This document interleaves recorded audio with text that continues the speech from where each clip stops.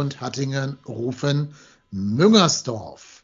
Hallo und herzlich willkommen zu einer weiteren Folge von Trotzdem hier, dem Podcast über den ersten FCE Köln. Der erste FC Köln unterliegt dem Konstrukt aus Fuschel am See mit 1 zu 3 in einem Spiel, das leider, leider relativ klar gezeigt hat, wer Ambitionen auf die Champions League hat und wer aus der Relegationssaison gekommen ist. Das muss man leider so klar sagen. Ähm, aber ich denke, das ist kein Weltuntergang. Und ja, das Spiel gibt trotzdem einigen Anlass für Diskussionen und wenn nicht das Spiel, dann einiges um das Spiel drum herum. Deswegen werden wir auch heute wieder eine bunte Sendung für euch zusammenstellen. Auch wenn wir gesagt haben, wir haben überhaupt keinen Bock, über das besagte Konstrukt zu reden. Deswegen werden wir die mit zwei, drei Sätzen abspeisen und stattdessen lieber über unseren, unseren echten Verein, also ein echter Verein mit Vereinstruktur, mit Satzung und der Möglichkeit, dort Mitglied zu werden und Tradition reden über den ersten FC Köln. So, und bei mir ist der Dosentreter von Hattingen, der Marco, der Burpott-Tennis. Moin Marco, grüß dich. guten Morgen, hi. Oder guten Abend, kann man ja schon fast sagen. Guten Morgen. Ja, kann man. Äh, der etwas deplatziert. Genau, du hast gesagt, ich soll dein echtes Twitter-Handle nicht nennen, weil du Angst hast, Nein. dass die Leipzig-Trolle kommen. Deswegen Aber ich, wieder, ich, bin, Burpott-Tennis. ich, ich bin ja tatsächlich, tatsächlich bis auf einen habe ich keinen abbekommen äh, am Freitag. Ja, können wir gleich noch Ich war- vertiefen, ich was war- der. Ich war äh, überrascht von mir selber und den Trollen. Also vielleicht haben sie sich auch ein bisschen eingegroovt. Ja, vielleicht auch, weil, sie, weil die gewonnen haben, ne? Vielleicht, wenn die verloren hätten, wären sie alle aus ihren Löchern gekommen. Ja, ja. Gut, und unser anderer Gast, ich weiß gar nicht, wie er zu dem Konstrukt steht. Ich kann es mir zwar vorstellen, aber kann uns jetzt ja alles selber erzählen. Bei uns ist unser Hörer, der Bastian, den ihr auf Twitter als @bfermer kennt. Moin Bastian, grüß dich. Ja, moin in die Runde, Grüße und vielen Dank, dass ich dabei sein darf. Ja, sehr gerne. Hast du eine Meinung zu Fuschel am See?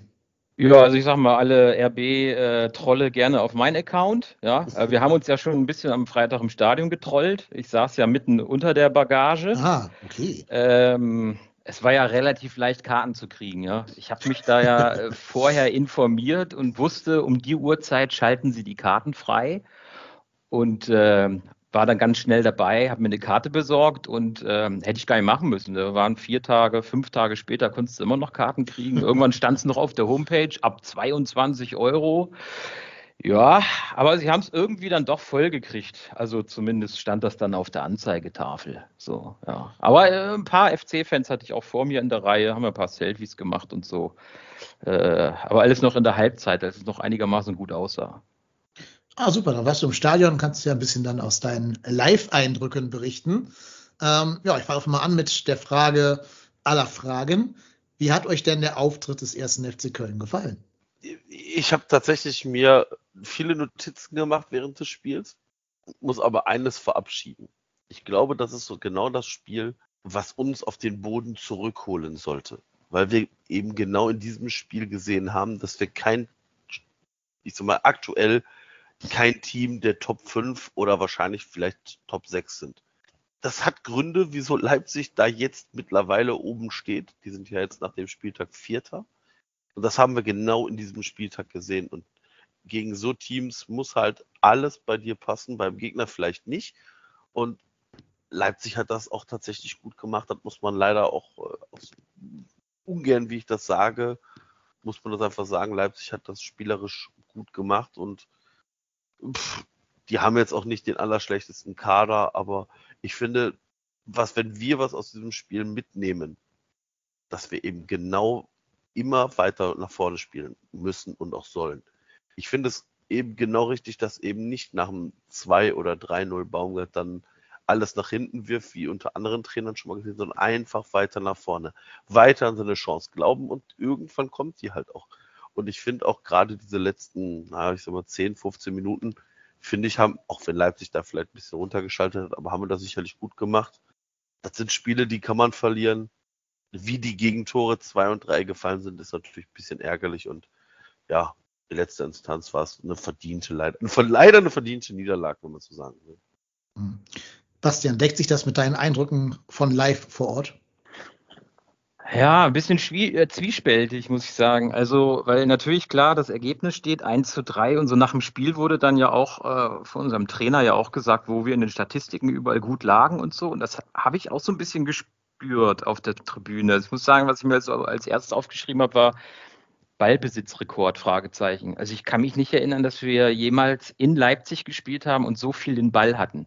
Also es mag sich jetzt auch daran austun, dass, dass Leipzig jetzt einen anderen Fußball spielt als, äh, als noch unter, unter Nagelsmann. Aber ich sage mal so, dafür, dass, dass wir eigentlich auch keinen richtig guten Tag hatten dort, äh, hätte es andere Spielzeiten gegeben, da hätten wir aber mal so richtig einen auf den Deckel gekriegt. Und wo wir überall den Ball verloren haben, also wir haben ja Leipzig wirklich auch, auch zum, zu Eingriffen eigentlich eingeladen und da muss ich dann ein bisschen widersprechen. Leipzig war an dem Tag auch nicht gut. Also was die für eine Qualität im Kader haben und was wir denen für, für Positionen offen gelassen haben. Also es ist ja das, das alte Spiel beim FC. Ähm, wenn man eine schnelle Spielverlagerung auf die andere Seite macht, dann ist eigentlich Polen offen. Und das hat Leipzig ganz schlecht ausgenutzt. Also vielleicht zwei, dreimal. Da hätten sie, hätten sie deutlich mehr, äh, deutlich, deutlich mehr offensive Aktionen haben können. Mhm. Also ich fand eigentlich beide nicht richtig gut. Äh, die erste Halbzeit war ja auch unfassbar. Da war, glaube ich, irgendwie ein nomineller Torschuss von, von, von Köln. Das war äh, Duda äh, in, in, den, in den Rang irgendwo, wo es man beim, beim Super Bowl eher Punkte bekommt als beim Fußball. Und äh, Leipzig einziger Torschutz, äh, ja, war der Freistoß, ne? Und der war dann drin. Und, und das war die erste Halbzeit. Und was ich mir noch aufgeschrieben habe, ist, was ich ziemlich beeindruckend fand. Also ich habe auch, muss man sagen, jetzt durch Corona natürlich auch ziemlich lange kein Live-Spiel mehr gesehen. Die Abwehr hat mir richtig gut gefallen. Also es hört sich zwar irgendwie komisch an, wenn man so 1-3 verliert, aber im Grunde genommen war das eine, eine glaube ich, unfassbar wertvolle Trainingsstunde für die Abwehr des FC. Die, die, das Ganze da hinten spielt ja auch noch nicht so ewig zusammen nach den Abgängen von Zichos und Mireille. Und wie, ich habe also mir hier aufgeschrieben, Hübers und Schmitz, was die alles in letzter Sekunde da abgelaufen und zugelaufen haben. Also da ging mehrfach ein Rauen durchs Publikum, wo man eigentlich schon dachte, ah, jetzt kommen sie durch, jetzt kommen sie durch und wieder zugelaufen und wieder zugelaufen und auch in einer bemerkenswerten Ruhe.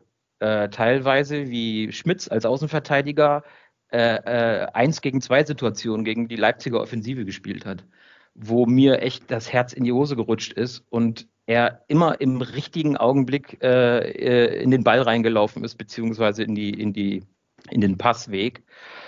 Und das fand ich schon bemerkenswert. Ich fand auch bemerkenswert Skiri, äh, hat ja auch jetzt eine halbe Ewigkeit nicht mehr gespielt bei uns, hat schon also eine echte Aura, finde ich, äh, wo, wo, er sich auch nochmal vor anderen, anderen Spielern absetzt. Also der ist auch alle wichtigen Lücken zugelaufen, hat ja auch kurz vor dem Freistoß auf der Linie das, das, äh, das, das, das 1 zu 0 äh, verhindert.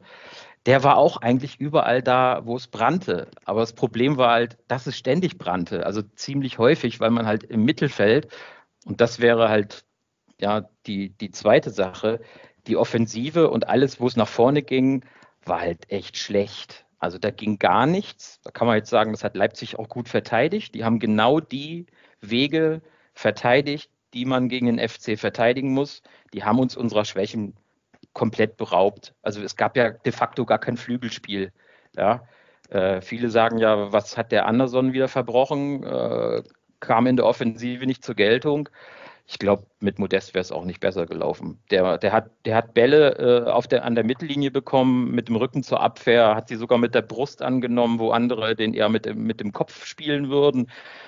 Ähm, aber da war nichts Verwertbares dabei. Im Gegenteil, man hat die manchmal sogar noch in irgendwelche Laufduelle auf, auf die Außenbahn geschickt, was ja absolut nicht sein Spiel ist.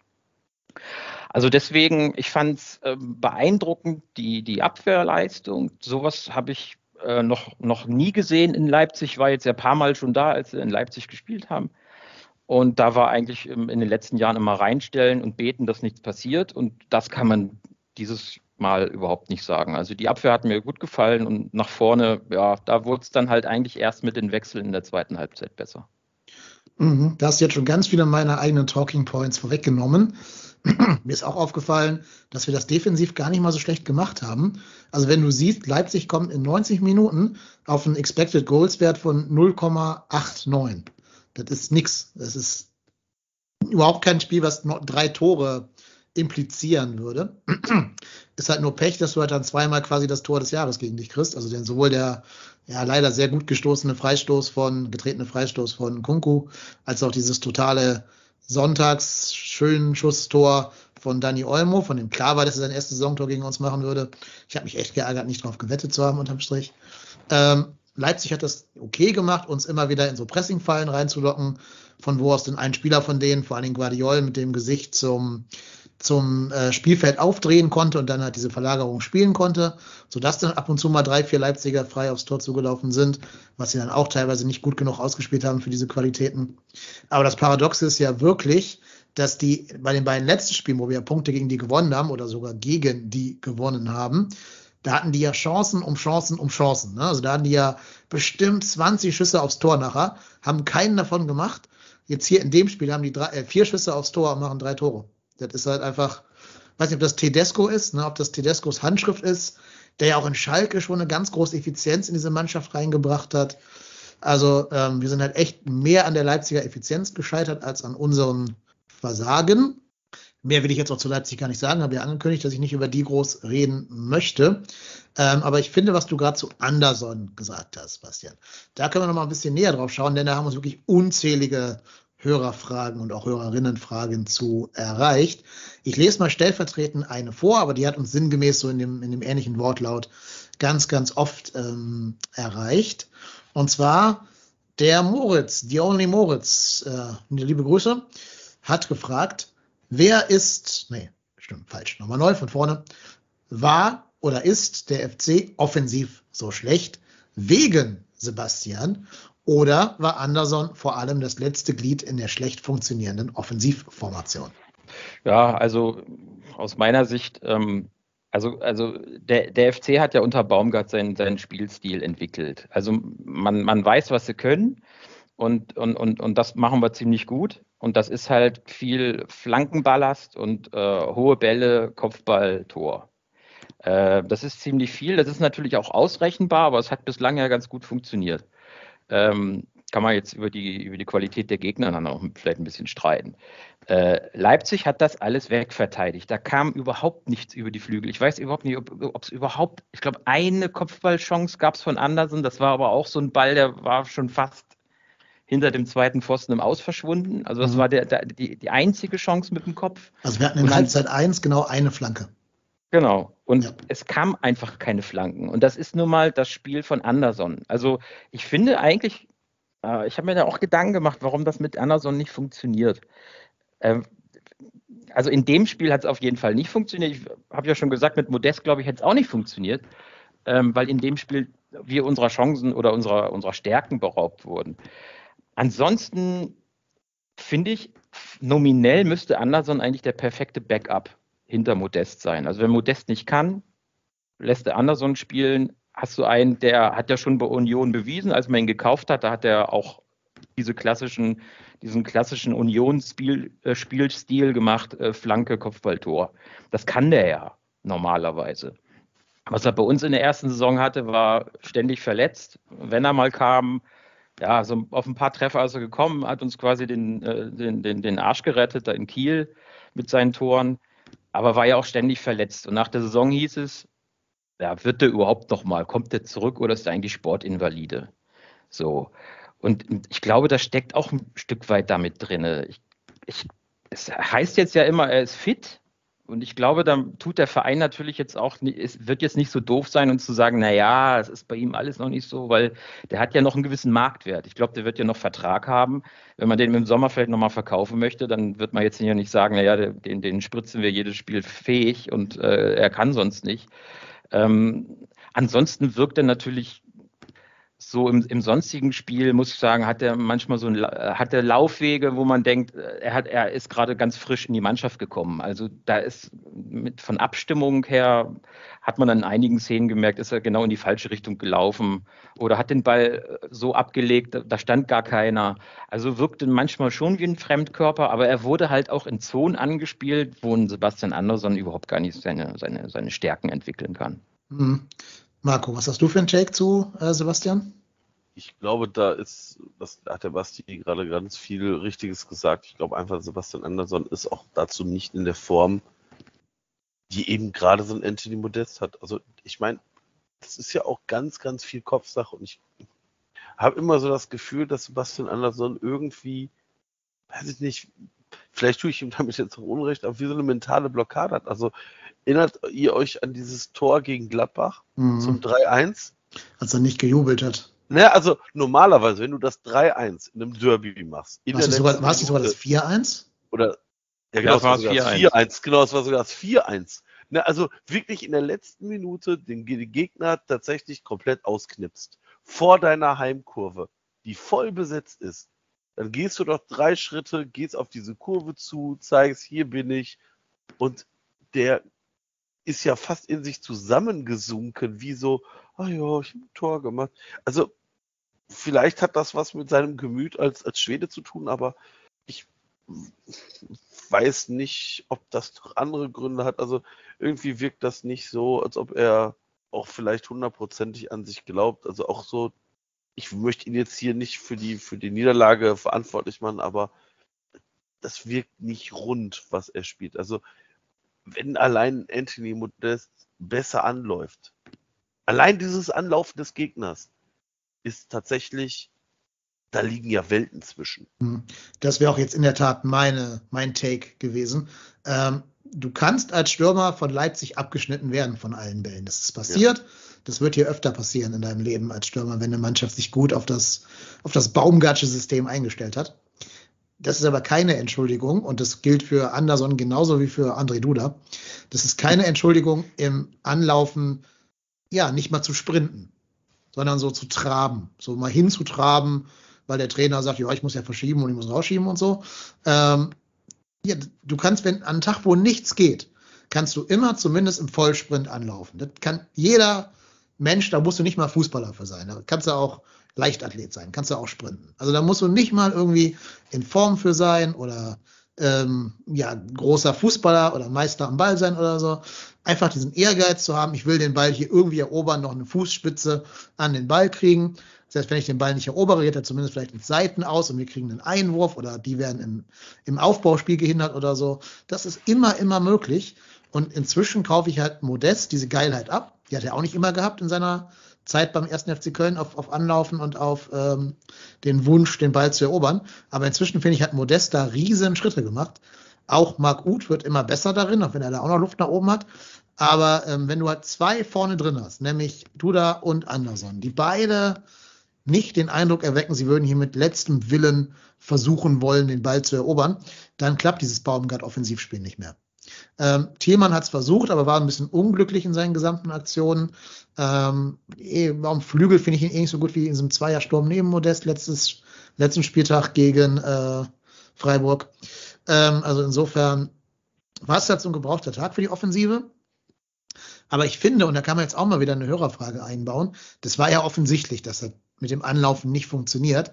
Kann man da nicht als Baumgart auch mal sagen, ich reagiere vielleicht mal in der Halbzeitpause und bringe da schon den besten Anläufer meines Kaders, nämlich Dejan Jubicic, ähm, damit der das mal so ein bisschen, so ein bisschen mehr Griffigkeit da reinkriegt, so ein bisschen mehr Geilheit auf das Erobern des Balles.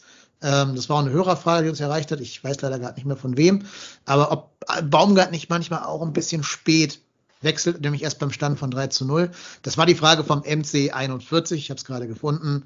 Der fragt, und wieso? Am Freitag hat nicht viel gepasst. Wieso reagiert man erst nach dem 0-3? Wir hatten einige Totalausfälle und die letzten Gegentore nach dem Wechsel waren, wenn man nicht versucht, was zu ändern mit Ansage. Also was sagt ihr zu Baumgart, hätte der früher wechseln müssen? Naja, in die Pause ist man ja nur mit einem 1-0 gegangen aus einem, aus einem Traumfreistoß. So. Ansonsten waren die Werte ja alle okay. Also, dass man da jetzt nicht unbedingt sofort in der Pause wechselt, ist ja dann auch ein bisschen, also wo spielen wir? Ne? Wir haben jetzt bei Leipzig gespielt, die haben die letzten Jahre Champions League gespielt. Wenn man da zur Pause 0-1 zurückliegt, muss man ja nicht gleich so das Signal in die Mannschaft geben, na, das reicht mir nicht, jetzt kommen hier mal drei neue rein. Also die Tore sind dann ja relativ schnell gefallen, das 2-0 und 3-0. Und äh, na klar, da sag mal, im, Nachhinein ist man immer schlauer. Da wäre es besser gewesen, man hätte du da schon äh, in der Kabine gehabt, äh, weil äh, gerade das, ich weiß gar nicht, welches Tor war das, das, äh, das, das, das 2-0, ähm, Nee, das, nee, das war noch das, nee, das, das 3-0. Das 3-0, das, das 3-0, wo dieser, dieser, dieser Freistoß so, so rausverteidigt wird und, und, und du da so zum Kopfball hochsteigst, als ob er in einem Zweikampf wäre mit sich selbst irgendwie. Also Stimmt, der, Ball ja. so über seine, über seine Stirn gleitet direkt in den Laufweg von Nkunku, wo man denkt, ja, da hast du aber den richtigsten erwischt, jetzt den mhm. Ball, den da reinzulegen.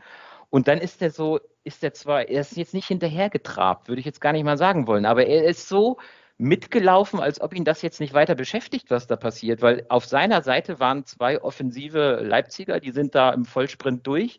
Und wenn er einen von diesen beiden gegriffen hätte und verteidigt hätte, dann hätte man dieses Tor vielleicht noch irgendwie verteidigen können.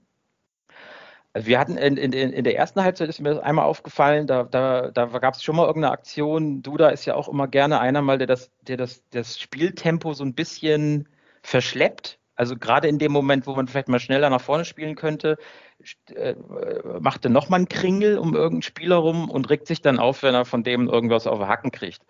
Und so war das in dem Fall auch. Der Schiedsrichter hat nicht gepfiffen, es ging weiter und dann, dann sah man da Baumgart an der, an der, an der Seite, wie er so zum, zum, zum Duder so Brust raus und von wegen Schulterzucken, äh, spielst du jetzt noch mit? Hast noch Lust? Willst du noch? So war so ein bisschen die Ansage. Und das ist etwas, was ihm konkret in dem Spiel abgegangen ist. Also er wollte das immer schön machen, äh, ein schönes Pässchen durchstecken, aber diese Aggressivität, die man gegen Leipzig braucht, die hatte er nicht. Und das hat man dann natürlich dann in der zweiten Halbzeit gesehen mit, mit Lubicic und mit Uth. Äh, gerade Uth fand ich hatte eine ganz andere Ausstrahlung auf dem, auf dem Feld. Sah man, auch, ja. sah man von hoch von der Tribüne, dass der eine Ausstrahlung hat, selbstverständlich den Ball zu nehmen und auch mal den Ball so intelligent zu verteilen, dass es eine richtige Spielverlagerung gibt, die richtig Räume öffnet. So, beim Duda war in der ersten Halbzeit eine Situation, da hat er den Ball so ähnlich bekommen wie, wie, wie der äh, Olmo vom 2-0 entscheidet sich aber statt in den freien Raum mit dem Ball zu gehen und dann vielleicht den Abschluss zu suchen, komplett mit dem Ball in die Abwehr, in die gestaffelte Abwehr reinzurennen äh, von RB. Und mit, mit einer falschen Ballberührung, eine falsche Entscheidung und schon war die, war die Chance wieder komplett tot. Also er hat ein unglückliches Spiel auf jeden Fall gemacht. Ja, also ich, ich finde mit Uth, Jubicic und dann später auch Schindler war da ein ganz anderer Zug drin, nochmal am Ende. Ähm, ich, ich kann ja auch mich darauf berufen, das getwittert zu haben. Ich hätte nämlich in der Halbzeit gewechselt, weil einfach offensichtlich war, dass dein Plan heute nicht aufgeht. Also auch offensiv halt überhaupt nichts von uns kam. Da war ja kein Torschuss und nichts. Ich hätte gewechselt. Ich hätte mir mehr Präsenz im Mittelfeld äh, gewünscht und vor allem mehr Spieler, die pressingresistent sind. Ähm, das waren in dem Moment weder Sebastian Andersson noch Duda an dem Tag. Du hast die Gründe gerade ja schon genannt, Bastian. Ähm, deswegen hätte ich gewechselt und wie gesagt, habe ich auch getwittert. Also ist jetzt nicht so ein, so ein Hindsight-Knowledge, sondern ich habe es schon in der Halbzeit geschrieben. Ähm, überhaupt muss ich leider sagen, wenn ich mich trauen würde, Kritik an Baumgart zu üben, ich weiß, es ist ja Majestätsbeleidigung in Köln und äh, ich habe Angst, dass der weiß, wo ich, wo ich wohne, deswegen bin ich ein bisschen vorsichtig. Aber ähm, wenn man was ihn kritisieren soll, dann finde ich eh, dass er sehr spät wechselt. Also er ist nicht so der Spieler, äh, der, der Trainer, der so im Spiel nach 5, 45 Minuten sagt, okay, läuft heute nicht, ich ändere alles. Kann man ja auch gut sehen, ne? nämlich daran, dass ähm, er Vertrauen hat in die Spieler, die er aufgestellt hat und nicht sofort sein ganzes System über den Haufen werfen will. Kann man auch positiv sehen also. Aber ähm, Ja, ich denke, es gibt so Spiele, da hast du dich halt ein bisschen bei der Aufstellung verzockt. Kann passieren, passiert den besten Trainern der ganzen Welt. Passiert Pep Guardiola in jedem Finale. Also insofern kein nichts Ehrenrühriges. Aber, oder Jogi Löw in jedem Finale. Also insofern nichts Ehrenrühriges. Aber ähm, ja, man kann es ja mal korrigieren. Also du hast ja gesehen, dass die Einwechslungen echt was gebracht haben. Und da würde ich mir wünschen, dass der ganze Staff, also er, aber auch Pavlak und Co., dass die vielleicht noch ein bisschen dynamischer auf das Spielgeschehen reagieren. Und ich glaube, da kann man, könnte man noch ein paar Prozente rauskitzeln aus der Mannschaft. Ja, ja also was, was ich auf jeden Fall äh, gesehen habe, ähm, äh, Leipzig, die, die stehen auch nicht zu Unrecht da, wo sie stehen. Und das heißt, dass, ja. dass sie halt nicht Zweiter oder Dritter sind. Äh, weil da stimmt auch einiges in der Mannschaft noch nicht. Also äh, wenn jetzt so äh, auch geschrieben wird, ja, das ist jetzt Champions League und da sieht man, wo unsere Grenzen sind. Äh, ich glaube, äh, an, an dem Abend hätten, hätten einige Bundesligisten da was mitgenommen. Ähm, weil mit einer besseren Offensive, äh, mit einem, vielleicht auch mit einem anderen Spielstil, und vielleicht kommen wir da später nochmal dazu, das ist halt ein bisschen eindimensional in der Offensive. Und wenn man, wenn man den Code geknackt hat, dann läuft da nichts. Und es gibt halt auch keinen komplett anderen Stürmertyp, äh, ähm, mit, mit, dem man nochmal die, die Defensive von Leipzig vor Herausforderungen bringen könnte, dann, dann, dann war es das dann halt. Und ähm, ein anderer Bundesligist, der vielleicht mehr Varianz im Sturm hat, der hätte da nochmal was, was, was anderes probieren können. Dann, du hast es ja schon äh, äh, gesagt, Dennis, äh, das waren einfach mal zwei absolute Traumtore. Die schießt man auch nicht jedes Wochenende so. Und das 3-0 war halt das, was man Leipzig so auf dem Silbertablett liefern, äh, liefert, wenn man denen Tor schenken möchte, also sie zum Kontern einladen. So, also das, das ist dann halt auch schwer zu verteidigen. Äh, ja, und dann, dann, dann verlierst du da halt so. Aber ich glaube, äh, es hätten ein paar Bundesligisten gegeben, die hätten da durchaus was mitnehmen können. Und das äh, ist ja auch für uns ein gutes Zeichen. Leipzig ist äh, uns noch nicht enteilt. Nee, trotz allem, das, das hat mir auch der, der Werner Martin Doyer geschrieben, trotz allem muss man anerkennen, die sind individuell besser als wir. Das sieht man einfach an der individuellen Klasse von Nkunku und Olmo, dass die halt diese Schusschancen da einfach so eiskalt nutzen. Muss man anerkennen, ist so, Punkt. Jetzt hast du aber das Thema Varianz im Sturm äh, angesprochen, Bastian. Und da hat uns, also da haben wir bestimmt zehn verschiedene Einsendungen zu bekommen.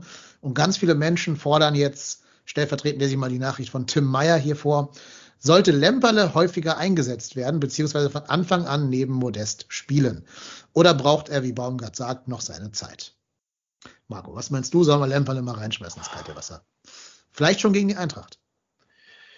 Ähm, die Frage ist halt, in welcher Konstellation? Lemperle und Modest kann ich mir vorstellen. Mhm. Lemper, also äh, Thielmann und Modest kann ich mir vorstellen. Ich glaube, es steht und fällt damit, wie, wie willst du aufstellen? Ist das ein alleiniger Stürmer? Weil da sehe ich Tim Lemperle nicht. Da, wo, wobei, naja, Kopfballstark ist er jetzt nicht. Also ich meine, er hat am dem Tag das einzige Tor per Kopf gemacht. Also deswegen ist. Das war ähm, auch nicht zufällig, es war schon. Ne, also, ja, ja, ne, das war schon gut gemacht. Also, Und 1,87 groß. Also, also ja, ja, ja, ja, ja. Ja, aber ja, ganz ehrlich, schlechter als Sebastian Andersson kann das so ja, nicht eben. machen. Also genau. demnach ähm, halte ich das tatsächlich für, für machbar. Und ja, ja, einfach mal ausprobieren. Also ich weiß auch nicht, wieso man da Sebastian Andersson gefühlt immer wieder vielleicht versucht man so ein bisschen so das, das aus ihm rauszukitzeln. Ich sehe es aktuell nicht. Also ich möchte ihm da auch gar nichts Böses, dem Sebastian Andersson, aber das reicht in meinen Augen nicht unbedingt äh, für, für aktuell unsere erste Elf eigentlich. Ja, ja ich, ich denke, er wird immer wieder aufgestellt, weil er halt für den Gegner zumindest ein realistisches Gefahrenmoment bei Flanken sein könnte. Es haben ja alle eben noch diese, diese Eintracht, äh, Quatsch, Union Berlin-Saison vor Augen. Deshalb glaube ich, wenn der auf dem Platz steht, lässt du da immer einen Innenverteidiger in der Nähe bei ihm. Ist halt trotzdem egal, wenn der Typ körperlos spielt. Ne? Also dann ist das wurscht, ob da einer steht oder nicht, weil der versprüht gerade einfach keine Torgefahr. Er hat ja diese eine Chance mit dem Fuß da noch, wo er sich selber so halb anschießt und der Ball dann rechts am Tor vorbeigeht aus seiner Sicht. Ja, das war aber auch schon so ziemlich alles. Ähm, und gerade gegen Eintracht hast du jetzt eine Abwehr, die, sagen wir mal, im Moment recht fehleranfällig ist, ähm, aber wahrscheinlich am ehesten sogar noch eine Lufthoheit herstellen kann. Also ne, um, um die, die äh, Defensive der Eintracht um Martin Hinteregger, die sind natürlich schon alles so ziemliche Bullen. Deswegen weiß ich nicht, ob ich gegen die jetzt halt wieder Anderson in der jetzigen Form stellen wollen würde. Vielleicht macht es ja echt Sinn, wenn du mal den etwas schnelleren, wendigeren ähm, Tim Lemperle bringst oder wieder Thielmann in den Zweiersturm stellst. Hängt aber natürlich alles davon ab, was mit Anthony Modest ist. Der ist ja, wie jetzt rauskam, äh, Corona-positiv tatsächlich, erneut. Hat ja schon mal eine gehabt, eine Infektion. Und kann sich erst am Donnerstag freitesten. Das heißt, selbst wenn er am Donnerstag ähm, wieder negativ getestet werden würde mit so einem PCR-Test, kann der quasi nur ins Abstiegs, äh, ins, ins Abschlusstraining einsteigen. So. Ähm, ja, und das ist natürlich ein Problem, weil ich auch nicht genau weiß, geht es dem gut, ist der gesund und fit und einfach nur positiv, aber keine Symptome, dann kann er sich ja fit halten. Oder ist er auch ein bisschen schlapp, ein bisschen müde, ein bisschen fiebrig und kann nicht groß trainieren, also kommt auch nicht für das Spiel dann in Frage. Das wissen wir nicht. Und davon hängt halt jede Menge ab. Ich denke aber insgesamt, ähm, ja, du musst ja auch mal den Leuten für ihre Leistung belohnen. Du kannst ja nicht sagen, gib Anderson jetzt immer einen Freifahrtschein, obwohl der wirklich in jedem Spiel, wo er von Anfang an gespielt hat, ja auch im Pokal gegen, gegen den HSV, was ein Zweitligist ist, einfach nicht überzeugt hat. Während halt Lemperle in wie viele Minuten zwei Tore geschossen hat? In 20 Minuten oder so, die er gespielt hat diese Saison der dürfte wahrscheinlich von allen Spielern der ganzen Bundesliga, die mehr als ein Tor haben, die beste Tor pro Minutenquote haben. Schätze ich einfach mal. Ich weiß es nicht, ob irgendwo mal einer Doppelpack gemacht hat nach Einwechslung oder so. Keine Ahnung. Ähm, das muss ja auch ein bisschen belohnen, ne? Also, ja, why not? Wenn, wenn Modest fit ist, steht doch mal Lemperle vorne in den Sturm. Thielmann vielleicht auf die andere Seite, also nicht auf die Seite, wo Lemperle spielt. Dann, dann stellst du keins auf die Lemperle-Seite, um ihn so ein bisschen zu unterstützen als erfahrenerer Spieler und spielst halt wieder so ein 4-4-2-Raute. Ähm, ja, why not? Also, wie gesagt, auch mal ein bisschen gute Leistung belohnen, bisschen auf den Nachwuchs, Entschuldigung, Nachwuchs setzen und darauf vertrauen, dass die Eintracht auch nicht gerade mit der breitesten Brust kommt ähm, und sich vielleicht dann so ein bisschen überraschen lässt von so einem Move, den, den äh, Oliver Glasner vielleicht auch nicht vor, vorhersieht. Das hatten wir auch schon mal gegen die Eintracht, kann ich mich daran erinnern. Unter einem anderen Trainer hatten wir schon mal so einen Move, äh, junge Talente reinzubringen, ja, wenn es äh, wenn keiner sogar, damit rechnet. Da hat auch sogar Jakobs sein erstes Bundesligator gegen geschossen, dann gegen ja. die Eintracht. Ja. Genau. Apropos Eintracht, also wir haben jetzt ganz viel über Sebastian Andersson geredet. Wir haben Bastian als Gast und jetzt kommt der dritte Basti. Wir haben eine Sprachnachricht von Basti Red zur Eintracht mit einer kleinen Vorschau äh, über den so kommenden Gegner. Ne, Gerade war er noch im Doppelpass, jetzt ist er schon quasi live bei trotzdem hier. Ähm, ja, Keine Kosten und Mühen gescheut haben genau. wir. So ein Jet-Set-Leben. Ich glaube, die nehmen gerade parallel äh, 93 live in Berlin auf. Also da liebe Grüße dahin. Und trotz allem ist er hier, der Mann ist einfach überall. Also das ist, das ist ein Jet-Set-Leben, das hätte ich auch gerne. Also Basti Red für euch mit der Eintracht. Gute und Grüße nach Köln. Ehrlich gesagt habe ich, glaube ich, gar keinen Bock zu euch zu fahren. Ihr seid unter Baumgart echt in den Spirit wieder reingekommen und habt zumindest auf jeden Fall immer Einstellungen auf dem Platz. Und die Eintracht lässt sich leicht davon anstecken. Ich will euch gar nicht zu viel verraten, wie ihr die Eintracht zu bespielen habt, aber ich glaube, dass das für uns eine harte Aufgabe wird. Die Eintracht ist momentan in den Spielen zu instabil und hat immer wieder Phasen, wo sie komplett den Faden verliert. Gerade wenn ein Gegner nervig ist und ich glaube, das könnt ihr sein. Also ist das meiner Meinung nach sogar so, und ich glaube, Tipico sieht das sogar auch so, dass ähm, Köln hier sogar der Favorit leicht ist. Weil ihr, glaube ich, momentan ein bisschen besser im Spirit seid. Ihr habt zumindest besser in Leipzig verloren als wir zu Hause gegen Wolfsburg.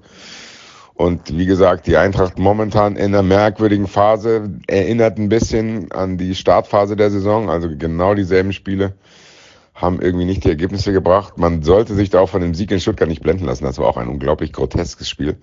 Heute auch wieder. Wolfsburg gar nichts gemacht, Biederer Kofeld Fußball, aber es hat gereicht gegen die Eintracht, der offensiv nicht viel einfällt und defensiv regelmäßig gepatzt wird. Ich will nicht auch euren Podcast noch weiter nerven, aber die Eintracht bräuchte eigentlich einen Anthony Modest und einen Stürmer. Haben wir nicht und gegen eine massierte Abwehr wie Wolfsburg kommt man da nicht durch. Ich bin gespannt, wie das gegen die Kölner Abwehr funktioniert. Ich glaube, dass die Eintracht zumindest ein bisschen auf Strom sein wird, weil sie sich der Lage bewusst ist. Ihr seid sowieso immer, also wird es auf jeden Fall, ja, ich befürchte mal ein aufreibendes Spiel, was auch immer das dann heißt. Werde ich dann so für mich auslegen, wie ich das will. Ich grüße euch. Ich finde gut, dass Köln so gut drauf ist. Eigentlich gehören Köln und Frankfurt in den Europapokal. Machen wir uns nichts vor. Wahrscheinlich werden es am Ende Hoffenheim und Freiburg sein. Und wir können uns weinend in den Armen liegen. Jetzt sehe ich hier gerade, dass Max Kruse im Sportstudio ist und jetzt habe ich gar keinen Bock mehr über irgendwas zu sprechen. Ciao, ciao. Danke, Basti Red. Ja, was erwartet ihr denn äh, für das Spiel gegen, gegen Eintracht? Wird es ein aufreibendes Spiel, wie Basti vorausgesagt hat? Das kann sicherlich passieren. Also ich, ich sehe es tatsächlich ähnlich wie der Basti. Ich, ich habe auch immer gedacht, so, ah, ist die Eintracht so sattelfest und eben genau das ist eben nicht. Also da patzen ja jetzt reihenweise hinter Egger und Co. Also die, die, ich sag mal, in der guten Zeit die Eintracht so nach vorne gehievt haben. Und glaube nicht, dass die aktuell von der spielerischen Komponente so viel besser ist als wir und da wird es dann nachher auf das, auf das Tagesgeschehen einfach ankommen. Wie kommt welches Team ins Spiel und wie entwickelt sich das Spiel? Aber ich sehe uns da mehr als, also ich sehe uns da nicht chancenlos und äh, ich sehe tatsächlich sogar gar nicht so schlechte Chancen für uns, das Spiel zu gewinnen oder zumindest einen Punkt zu holen. Bei der, bei der Eintracht fehlt da der Kostic eigentlich immer noch? Also der hat doch jetzt gefehlt, oder? Der ist ja eingewechselt worden am Ende, ne? Also wird er bestimmt innerhalb von einer Woche wieder fit werden. Okay. Ja, weil bei Eintracht hängt ja auch alles an Kostic, wie bei uns ein bisschen das auch mit Modest der Erfolg zu tun hat. Mhm. Und äh, die haben ja auch ein einfaches Spielprinzip, Kostic den Ball geben und der macht schon irgendwas Intelligentes damit. Also von daher, da muss man sich natürlich schon drauf konzentrieren, ähm, äh, den in, in, Schach zu halten. Ja, ansonsten absolute Wundertüte, die Eintracht diese Saison. Die haben auch ein Problem mit, mit ihrem Sturm. Da, da haben sie einfach keinen, der, der auch diese Kostic-Flanken auch so super verwertet. Also da, da gäbe es einige Bundesligaspieler, die würden den richtig gut zu, zu Gesicht stehen und dann könnte das safe eine, eine, eine Europapokalmannschaft sein aber zurzeit irgendwie sehr, sehr, sehr, sehr schwierig aus, ausrechenbar. Und äh, ja, das sind jetzt äh, Do-or-Die-Spiele. Also ich bin ja, ich, ich, ich gehöre zu der Fraktion der Fans an, die, die nichts dagegen haben, wenn wir auch uns in dieser Saison schon für den Europapokal qualifizieren und nicht äh, jetzt noch zwei Jahre warten, weil wir die beständige Entwicklung der Mannschaft abwarten wollen, denn Fußball äh, ist ja jetzt äh, ist ja nicht BWL und wir können uns das alles irgendwie so, so, vorstellen, wie das in zwei Jahren läuft, sondern man muss die Chancen ergreifen, wenn sie kommen. Und ähm, ich habe es ja jetzt auch, auch mit Leipzig schon gesagt, auch die fand ich jetzt nicht so stark. Das bewegt sich alles so im zwei, drei Punkte Range und äh, ja, das jetzt sind die entscheidenden Wochen. Also äh, wir spielen jetzt gegen gegen viele Mannschaften, die da oben äh, eine Rolle spielen. Äh, da wird sich jetzt entscheiden, wo es noch hingeht, ob das sich jetzt so langsam dann austrudelt, weil ich, ganz ehrlich nach unten sehe ich sehe ich jetzt keinen großen keine großen Probleme mehr, weil da sammelt ja kaum noch jemand Punkte im nennenswerten Bereich. Ja, und ansonsten muss man halt gucken, ob das da oben jetzt neben Bayern, Dortmund, ob das dann nur noch die Plastikvereine da oben den Europapokal bevölkern oder zumindest ein Verein mit einer ordentlichen Fanbase. Und ähm, warum nicht wir? Ja, wenn nicht jetzt, wann dann? Ne? Die Chance ist ja. die Saison sehr groß. Ähm, aber ich wollte noch mal ganz kurz bei dem Eintracht-Spiel bleiben. Die haben natürlich so die Sorte Offensive, die uns in der Vergangenheit sehr unangenehm gewesen ist. Also eher kleine, wuselige Typen ne, mit Boré, Lindström, Kamada und dann kommt vielleicht noch Hauge oder Horge für einen von denen rein.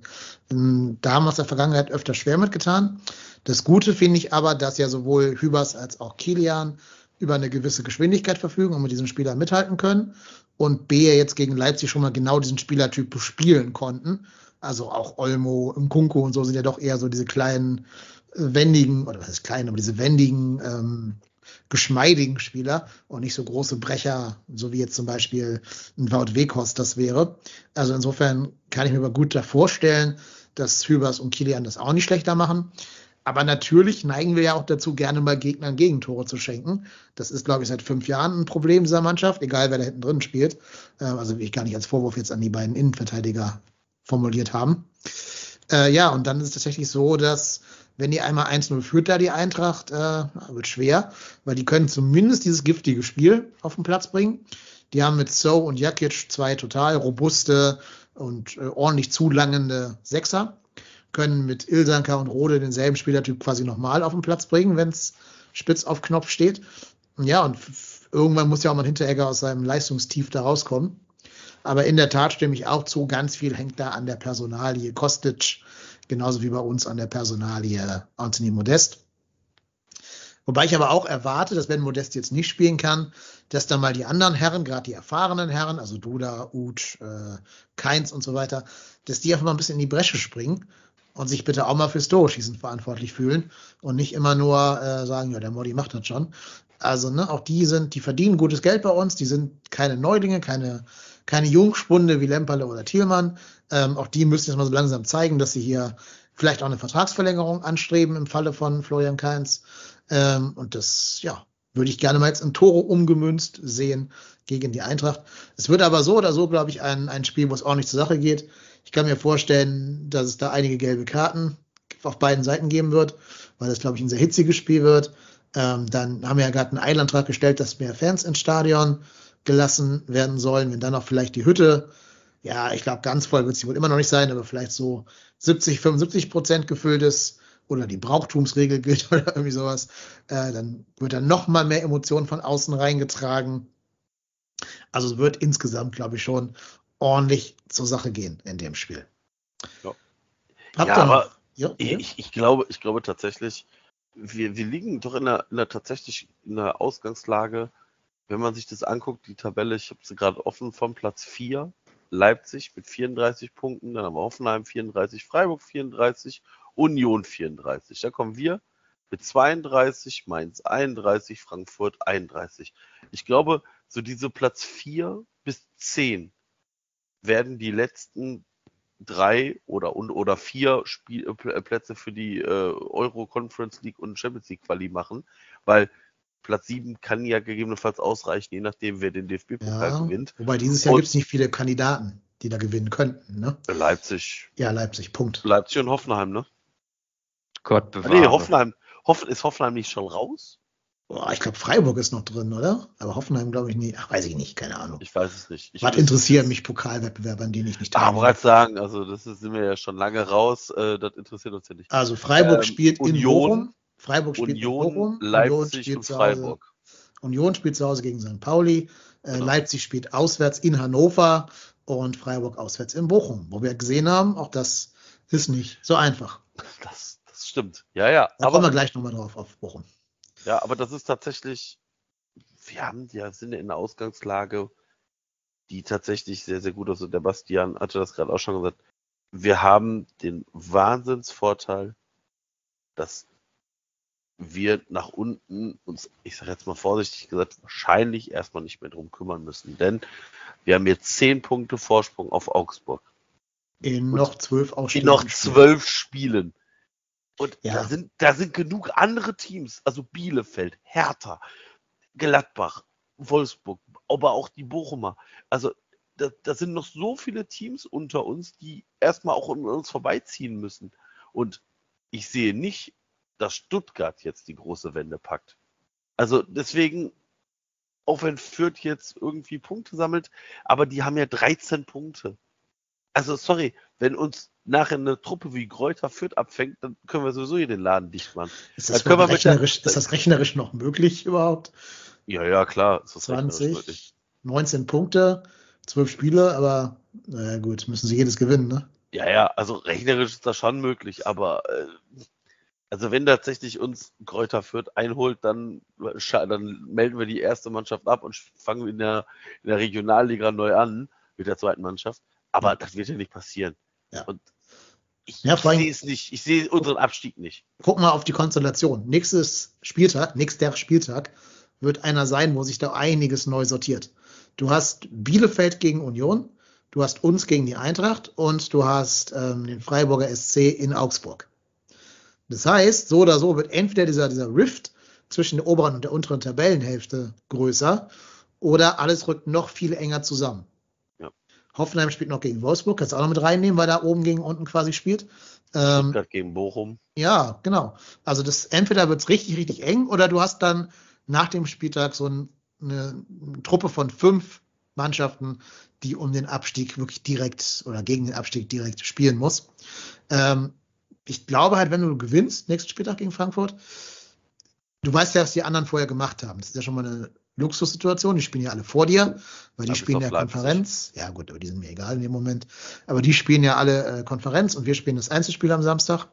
Ja, und ähm, ich denke, wenn du da gewinnst, hast du richtige Aktien nach oben. Während wenn du verlierst, ist Frankfurt an dir vorbei. Und ja, ne? Ja, also selbst wenn. Wir haben ja schon ein paar Mal gesagt, ich bin total happy damit, am Ende im Niemandsland zu landen, im Niemandsland zu landen, genau. Ähm, Hauptsache nicht mehr nach unten zittern müssen. Werden wir nicht, weil wir werden unsere Punkte noch holen. Wir haben ja auch noch Mannschaften wie Fürth zum Beispiel und Bielefeld und Augsburg, da kann man ja dann auch mal gewinnen, Stuttgart. Ähm, ne? Und insofern, ja, wichtiges Spiel, wenn man Ambitionen nach oben hat. Aber ich bin auch happy, wenn wir dann den Punkt holen und am Ende halt irgendwie Richtung Klassenerhalt trudeln. Kann ich auch mitleben. Ja, also zwei Spiele in Folge haben wir in dieser Saison noch nie verloren. Ne? Also, also wir werden hier nicht irgendwie Werder Bremen 2 und irgendwie zehn Spiele am Stück verlieren und dann irgendwie dann doch noch absteigen. Das wird nie im Leben nein. unter Steffen Baumgart passieren. Äh, Also ja, es gab immer mal wieder eine Niederlage, aber danach gab es dann immer eine Reaktion. Mindestens ein Unentschieden oder ein Sieg. Das erwarte ich jetzt auch. Also ich glaube, Frankfurt kommt jetzt gerade in, in einer recht guten Phase. Also das sollte man einfach nutzen, versuchen zumindest. Und ja, ganz ehrlich, wichtiger als wie, wie die Saison ausgeht, ist einfach, äh, was wir ganz am Anfang schon hatten, einfach unseren Spielstil durchziehen. Egal wer da kommt, einfach immer das Spielen. Weil das hat man jetzt in Leipzig auch gesehen. Dann hatten wir eine schöne letzte halbe Stunde. Äh, ähm, und man geht nie so ganz unzufrieden aus so einem Spiel raus, egal ob man verliert oder nicht. Und die Wahrscheinlichkeiten, das hat der Baumgart auch zum Anfang der Saison gesagt, äh, dass man in der letzten Saison hat man auch viele Spiele noch sehr glücklich gewonnen. Wir waren ja beim Thema Leipzig dabei, letzte Saison äh, mit den zwei Hector-Toren unter Funkel. Äh, Wenn man das Spiel nicht gewonnen hätte, wäre man abgestiegen. Äh, ähm, äh, das, das, da wu- wusste dann nachher überhaupt gar keiner, wie man das Spiel gewonnen hat. Also das äh, und, und wenn man jetzt nach vorne spielt, diesen Baumgart-Fußball, dann, äh, dann ja, wird die Wahrscheinlichkeit einfach größer, dass man verdient auch mal Spiele gewinnt. Und deswegen einfach den Spielstil beibehalten und schauen, was dann, was dann runterfällt. Äh, eine Niederlagenserie auf jeden Fall erwarte ich nicht. Nee. Die schlechte Nachricht ist, dass Eintracht auch noch nie zwei Spiele in Folge verloren hat. Insofern wird es wahrscheinlich ein klassisches Unentschieden ähm, für die ganzen Wetthasen da draußen. Aber gut, wir werden es sehen. Es wird sich einiges ergeben. Und ich hoffe einfach nur, dass Modest gesund bleibt und sich dann nicht von Corona jetzt irgendwie aus der Saison äh, nehmen lässt. Das wäre natürlich sehr schade, auch für ihn persönlich. Also viel Gesundheit, lieber Anthony Modest. Und dann hoffentlich kann er wieder mittun am Wochenende. Selbst wenn er auf der Bank sitzt und dann ab der 70. eingewechselt wird, das macht ja auch was bei der Eintracht. Ne? Wenn da in der 70. Modest kommt, liebe Grüße an Stuttgart, ähm, und es steht vielleicht 0-0, dann kriegen die auch Muffe. Da gehe ich mal von aus. Jo, gut, haben wir, glaube ich, auf das Spiel genug vorausgeschaut. Dann haben wir noch ein paar Hörerfragen bekommen, die nicht direkt was mit dem äh, den Spielen zu tun haben, also mit dem rein sportlichen. Aber da wir jetzt noch ein bisschen Zeit haben, können wir die ja auch mal uns äh, anschauen. Und zwar muss man ja sagen, heute ist ein besonderes Datum. Wir nehmen am Sonntag auf und heute ist der 13.2. Da weiß natürlich der geneigte FC-Fan und die geneigte FC-Fanin, heute ist der Geburtstag des ersten FC Köln. Yay! Jubel, Hult, celebrate good times. Und Marco, das Volk fordert ein Ständchen von dir zum Geburtstag des ersten FC Köln. Ja, ja, ich bin ja für meine Gesangskünste hinlänglich bekannt, werde aber nicht singen. Nein, ich, ich werde ein kleines Stück für den FC singen. Okay, also jetzt bitte. Birthday to you. Happy Birthday to you. Happy Birthday, lieber Katastrophenverein. Happy Birthday to you. Nein, also lieber, lieber FC, alles, alles Liebe. Du hast mir so viel graue Haare beschert. Äh, aber ohne dich wäre auch scheiße. Ja, ohne dich wäre auch scheiße, genau. Sogar noch scheißer als mit dir. Ja, So sieht's so aus. ist das.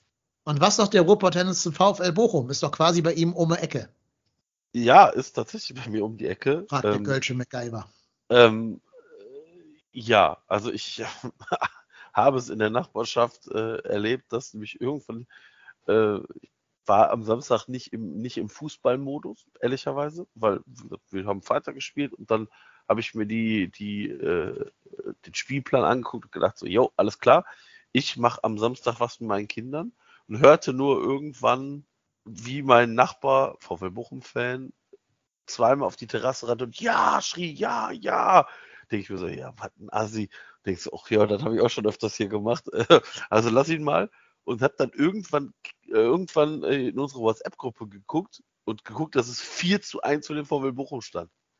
Und da habe ich mir gedacht, so, boah, der ist aber, der ist aber leise unterwegs. Also ich glaube, wenn ich 4-1 gegen die Bayern äh, führen würde, würde das jeder in ganz Hattingen und wahrscheinlich auch angrenzenden Städten hören.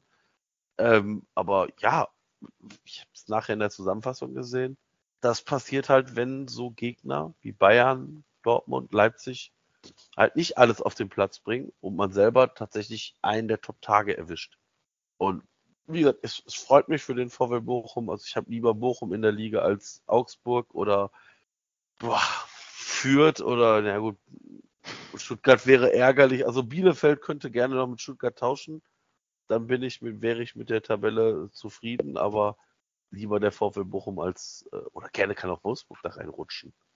Ja, gerne, gerne. Gerade äh, nach ihren Millionenausgaben da für Max Kruse, bei dem man auch sagen muss, der sah, sah im Sportstudio ein kleines bisschen, sagen wir mal, er ist dem McDonalds-Buffet nicht ganz abgeneigt, habe ich so das Gefühl. Ja, der hat, der hat kein Slim-Fit-Trikot. ja, das kann man wohl sagen. Ist, äh, ja, also. Erinnert mich ein bisschen an Manische äh, in der Spätphase der Karriere. Ja, aber die Hose war der Knaller, oder? Da habe ich echt gedacht, verdient der in Wolfsburg nicht anständig, dass er mal eine vernünftige Hose tragen kann. Ach, das tragen die jungen Leute heute so. Das ist, da müssen wir mit leben. Belüftete Knie. Ja. Wir sind ja hier der Nachnamen, äh, Zweitnamen-Podcast. Sag ne? nicht, äh, Max Kruse hat einen peinlichen ja, Zweitnamen. Natürlich. Oh. Max Kruse heißt Max Bennett Kruse. Okay. Max Bennett Kruse. Ach du Scheiße, das Kind heißt Lauro Maxim Kruse. Lauro? Mhm. Okay. Ja, jedem das seine, nicht? Ach, darf man nicht mehr sagen, haben wir schon mal gehabt, das Thema. Ähm, egal, äh, wir haben weitere Hörerfragen. Also liebe Grüße an Max Kruse. Achso, ja, bei Bochum wollte ich noch was zu sagen. Äh, liebe Grüße an Max Kruse. Ja, schöne Grüße, Max Kruse. Du fetter, Schwa du fetter Schwabbel. Es reicht leider trotzdem, irgendein FC am vorletzten Spieltag drei Tore einzuschenken. Das wissen wir jetzt schon. Also spar, ja. spar dir die Häme, bis, bis wir gegen die gespielt haben. Danach dürfen wir ihn dann beleidigen. Ähm, ja, so. Äh, ich wollte noch zu Bochum sagen, ich habe dann beim Stand von, ich glaube, 3-1 eingeschaltet, weil ich das dann doch sehen wollte, was da los ist. Die haben das richtig gut gemacht. Also die haben da nicht irgendwie es gibt ja so Spiele, wo du so ein bisschen wie die Jungfrau zum Kinde äh, zu zwei Toren gegen die Bayern kommst. So ging es ja Gladbach zum Beispiel bei deren Sieg gegen die Bayern, ne, dass sie irgendwie selber nicht so genau wissen, wie sie da 2-0 in Führung gegangen sind oder 2-1 in dem Fall. Bei Bochum war das alles ein ganz klarer Matchplan. Das war auch der überragenden Form von äh, Gerhard Holtmann geschuldet, der den Bayern noch sensationell, so wirklich so ein bisschen Danny Olmo-mäßig äh, mit seinem schwachen Fuß allerdings äh, mit rechts ins linke lange Eck schießt. Das muss erstmal schaffen mit dieser, dieser Flugbahn. Ja, und das ist natürlich äh, herausragend. Gerade wenn du bedenkst, dass die im Hinspiel noch 7-0 verloren haben gegen die Bayern. Da siehst du, wie gut anscheinend Thomas Reis mit seiner Mannschaft arbeitet und wie gut er die nach vorne gebracht hat. Hast du ja im Spiel gegen uns schon gesehen. Wenn man da mal Hin- und Rückspiel miteinander vergleicht, lagen da ja auch Welten dazwischen. Ja, also mich freut auch, wenn die die Klasse halten, solange es nicht auf Kosten des ersten FC Köln ist, sondern auf Kosten von Bielefeld oder Augsburg oder so, ist mir das total recht, wenn Bochum drin bleibt. Ja, und herzlichen Glückwunsch an Ume Ecke von dir. Jo. Ähm, ja, genau. Noch eine Frage, die wird jetzt wieder so ein bisschen sportlicher. Ut oder Duda sind gefühlt beide besser, wenn sie von der Bank kommen, fragte Nilis. Niles, Niles, Niles heißt er. Äh, was ist eure Meinung? Also ich habe sowieso da einen Favorit. Ich, ich finde, also ich persönlich kann Andre Duda, ich gucke dem nicht gerne beim Fußballspielen zu weil ich finde, der Bastian hat vorhin was, ich glaube, irgendwas gesagt in dem Spiel. Der nimmt sich den Ball und läuft auf die Abwehr zu. Das macht er immer. der spielt immer zu spät ab. Mhm. Ja. Immer. Du kannst da die Uhr nachstellen. Duda bekommt den Ball, Kopf nach unten und ab nach vorne. Ja, wenn du aber da vier Leute vor dir stehen, äh, die eine andere Trikotfarbe haben, ist das ungünstig. Weil du jetzt auch nicht Lionel Messi bist, um halt da das daran vorbeizukommen. Also ich finde André Duda, das ist mir jetzt schon ganz oft aufgefallen, da fehlt es manchmal so ein bisschen an, an Qualität und ich finde es sehr, sehr schade, weil der hätte rein theoretisch, glaube ich, diese Qualität, da mehr rauszumachen, aber ja, passiert leider Mhm. zu selten. Ja, Duda ist leider das slowakische Wort für unnützen Ballverlust tatsächlich. Ähm, das wissen viele, glaube ich, gar nicht, aber es ist so. Und ja, finde ich auch. Also Marc Uth hat nicht die Topform, die er damals in der guten Gistol-Phase hatte, als wir da die acht Spiele gewonnen haben. Äh, keine Frage. Also der hat auch, der struggelt auch gerade. Auch, glaube ich, ein bisschen mit dem ganzen Baumgart-System. Und ich finde, man merkt auch immer wieder, dass Baumgart kein Fan von Marc Uth ist, einfach in seinem, seinem Gesamtansehen äh, Ansehen so. Aber trotz allem finde ich ihn besser, griffiger und auch gefährlicher in Sachen Torabschluss für den Gegner, wenn er spielt. Ähm, klar kann dich auch von der, von der Bank aus bereichern. Aber ich glaube, du hast zwei Optionen. Entweder du lässt beide raus, also Duda und Uth, und lässt dafür irgendwie so ein System mit Skiri, Ljubicic und Özcan spielen. Oder du lässt halt Marc Uth spielen, gerade wenn Modest nicht fit sein sollte. Dann brauchst du ja irgendeinen vorne drin, der ein bisschen knipsen kann. Und das ist am ehesten noch Marc Uth dann für mich, wenn Modi fehlt. Ja, ähm, und das ist halt von der Bank ein bisschen besser. Das hat man gegen Stuttgart schon gesehen im Pokal, genau. Aber trotz allem, der kann es ja auch von der Startelf weg, so ist es ja nicht. Reicht halt vielleicht nicht immer für 90 Minuten bei ihm, aber dann musst du in der 70. rausnehmen und kannst dann ja, ja Duda bringen. Aber ich finde im Moment sogar tatsächlich rein vom Anlaufen her sogar äh, Thomas Ostrak vor André Duda. Und das ist schon ja, auch traurig für Duda, aus Dudas Sicht. Hm. Ja, Duda, äh, denke ich immer, ähm, du bist offensiver Mittelfeldspieler. Du solltest halt ein Stresstest für die andere Abwehr sein und nicht für die eigene. Ne? Mhm. Also wie, wie, wie der, also da stand ich auf dem Stuhl, wie, was der bei, was war das Heimspiel gegen Bayern? Was der da im Mittelfeld da Bälle verloren hat und dann sind sie dann mit ihren, mit ihren sechs ICEs auf die Abwehr zu. Und ich denke, da, da, genau da darfst du den Ball nicht verlieren. Genau da nicht. Und das war halt jetzt beim letzten Auswärtsspiel genauso. Und das macht, glaube ich, Baumgart auch verrückt draußen. Also Mhm. deswegen hatte ich ja die kleine Episode erzählt, wo er, wo er ihm nochmal erzählt hat, ob er jetzt noch mitspielen möchte, weil da, da schaltet er dann halt zu, zu, zu schnell ab und das kann Baumgart halt überhaupt nicht gefallen. Äh, wenn man da zumindest nicht kämpft und dem, dem anderen auf die Socken, auf den Socken steht. Äh, also in vernünftiger Art und Weise. Und ja, mit auf die Abwehr zu laufen, statt den Raum zu suchen. Und ähm, ja, also er sollte halt mehr Tore schießen oder vorbereiten, als für Tore verantwortlich zu sein. Und das ist in den letzten Wochen in, in, ins Gegenteil leider gekippt bei ihm, finde ich. Ja, leider ist das so. Ähm, es gibt eine sehr hörenswerte Folge vom dem Podcast vom Geistblog. Ich habe vergessen, wie der heißt. Geistpod oder irgendwie sowas. Das ist jetzt Konkurrenz und ich mache hier ungern Werbung für die Konkurrenz, aber also Ehre, wem Ehre gebührt. Ein sehr hörenswerter Podcast, die letzte erschienene Folge. Da ist so ein Zahlen- und Datenmensch ähm, anwesend und der legt halt da, wie wenig Impact André Duda auf das Spiel des 1. FC Köln hat und macht sich sogar indirekt dafür stark, den zu verkaufen im Sommer. Auch weil der natürlich sehr viel Geld verdienen wird bei uns. Der hat noch so diesen letzten Horst Held-Vertrag abgegriffen, ähm, zusammen mit Sebastian Andersson.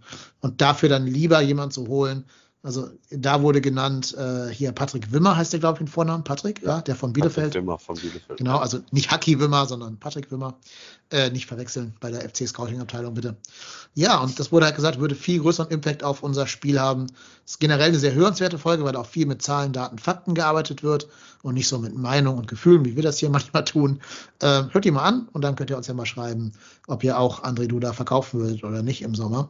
Ich würde im Moment sagen, wenn ein gutes Angebot kommt von irgendeinem, weiß ich nicht, Krasnodar oder so, tschö, also für, die, für das Gehalt ist mir das auch zu wenig.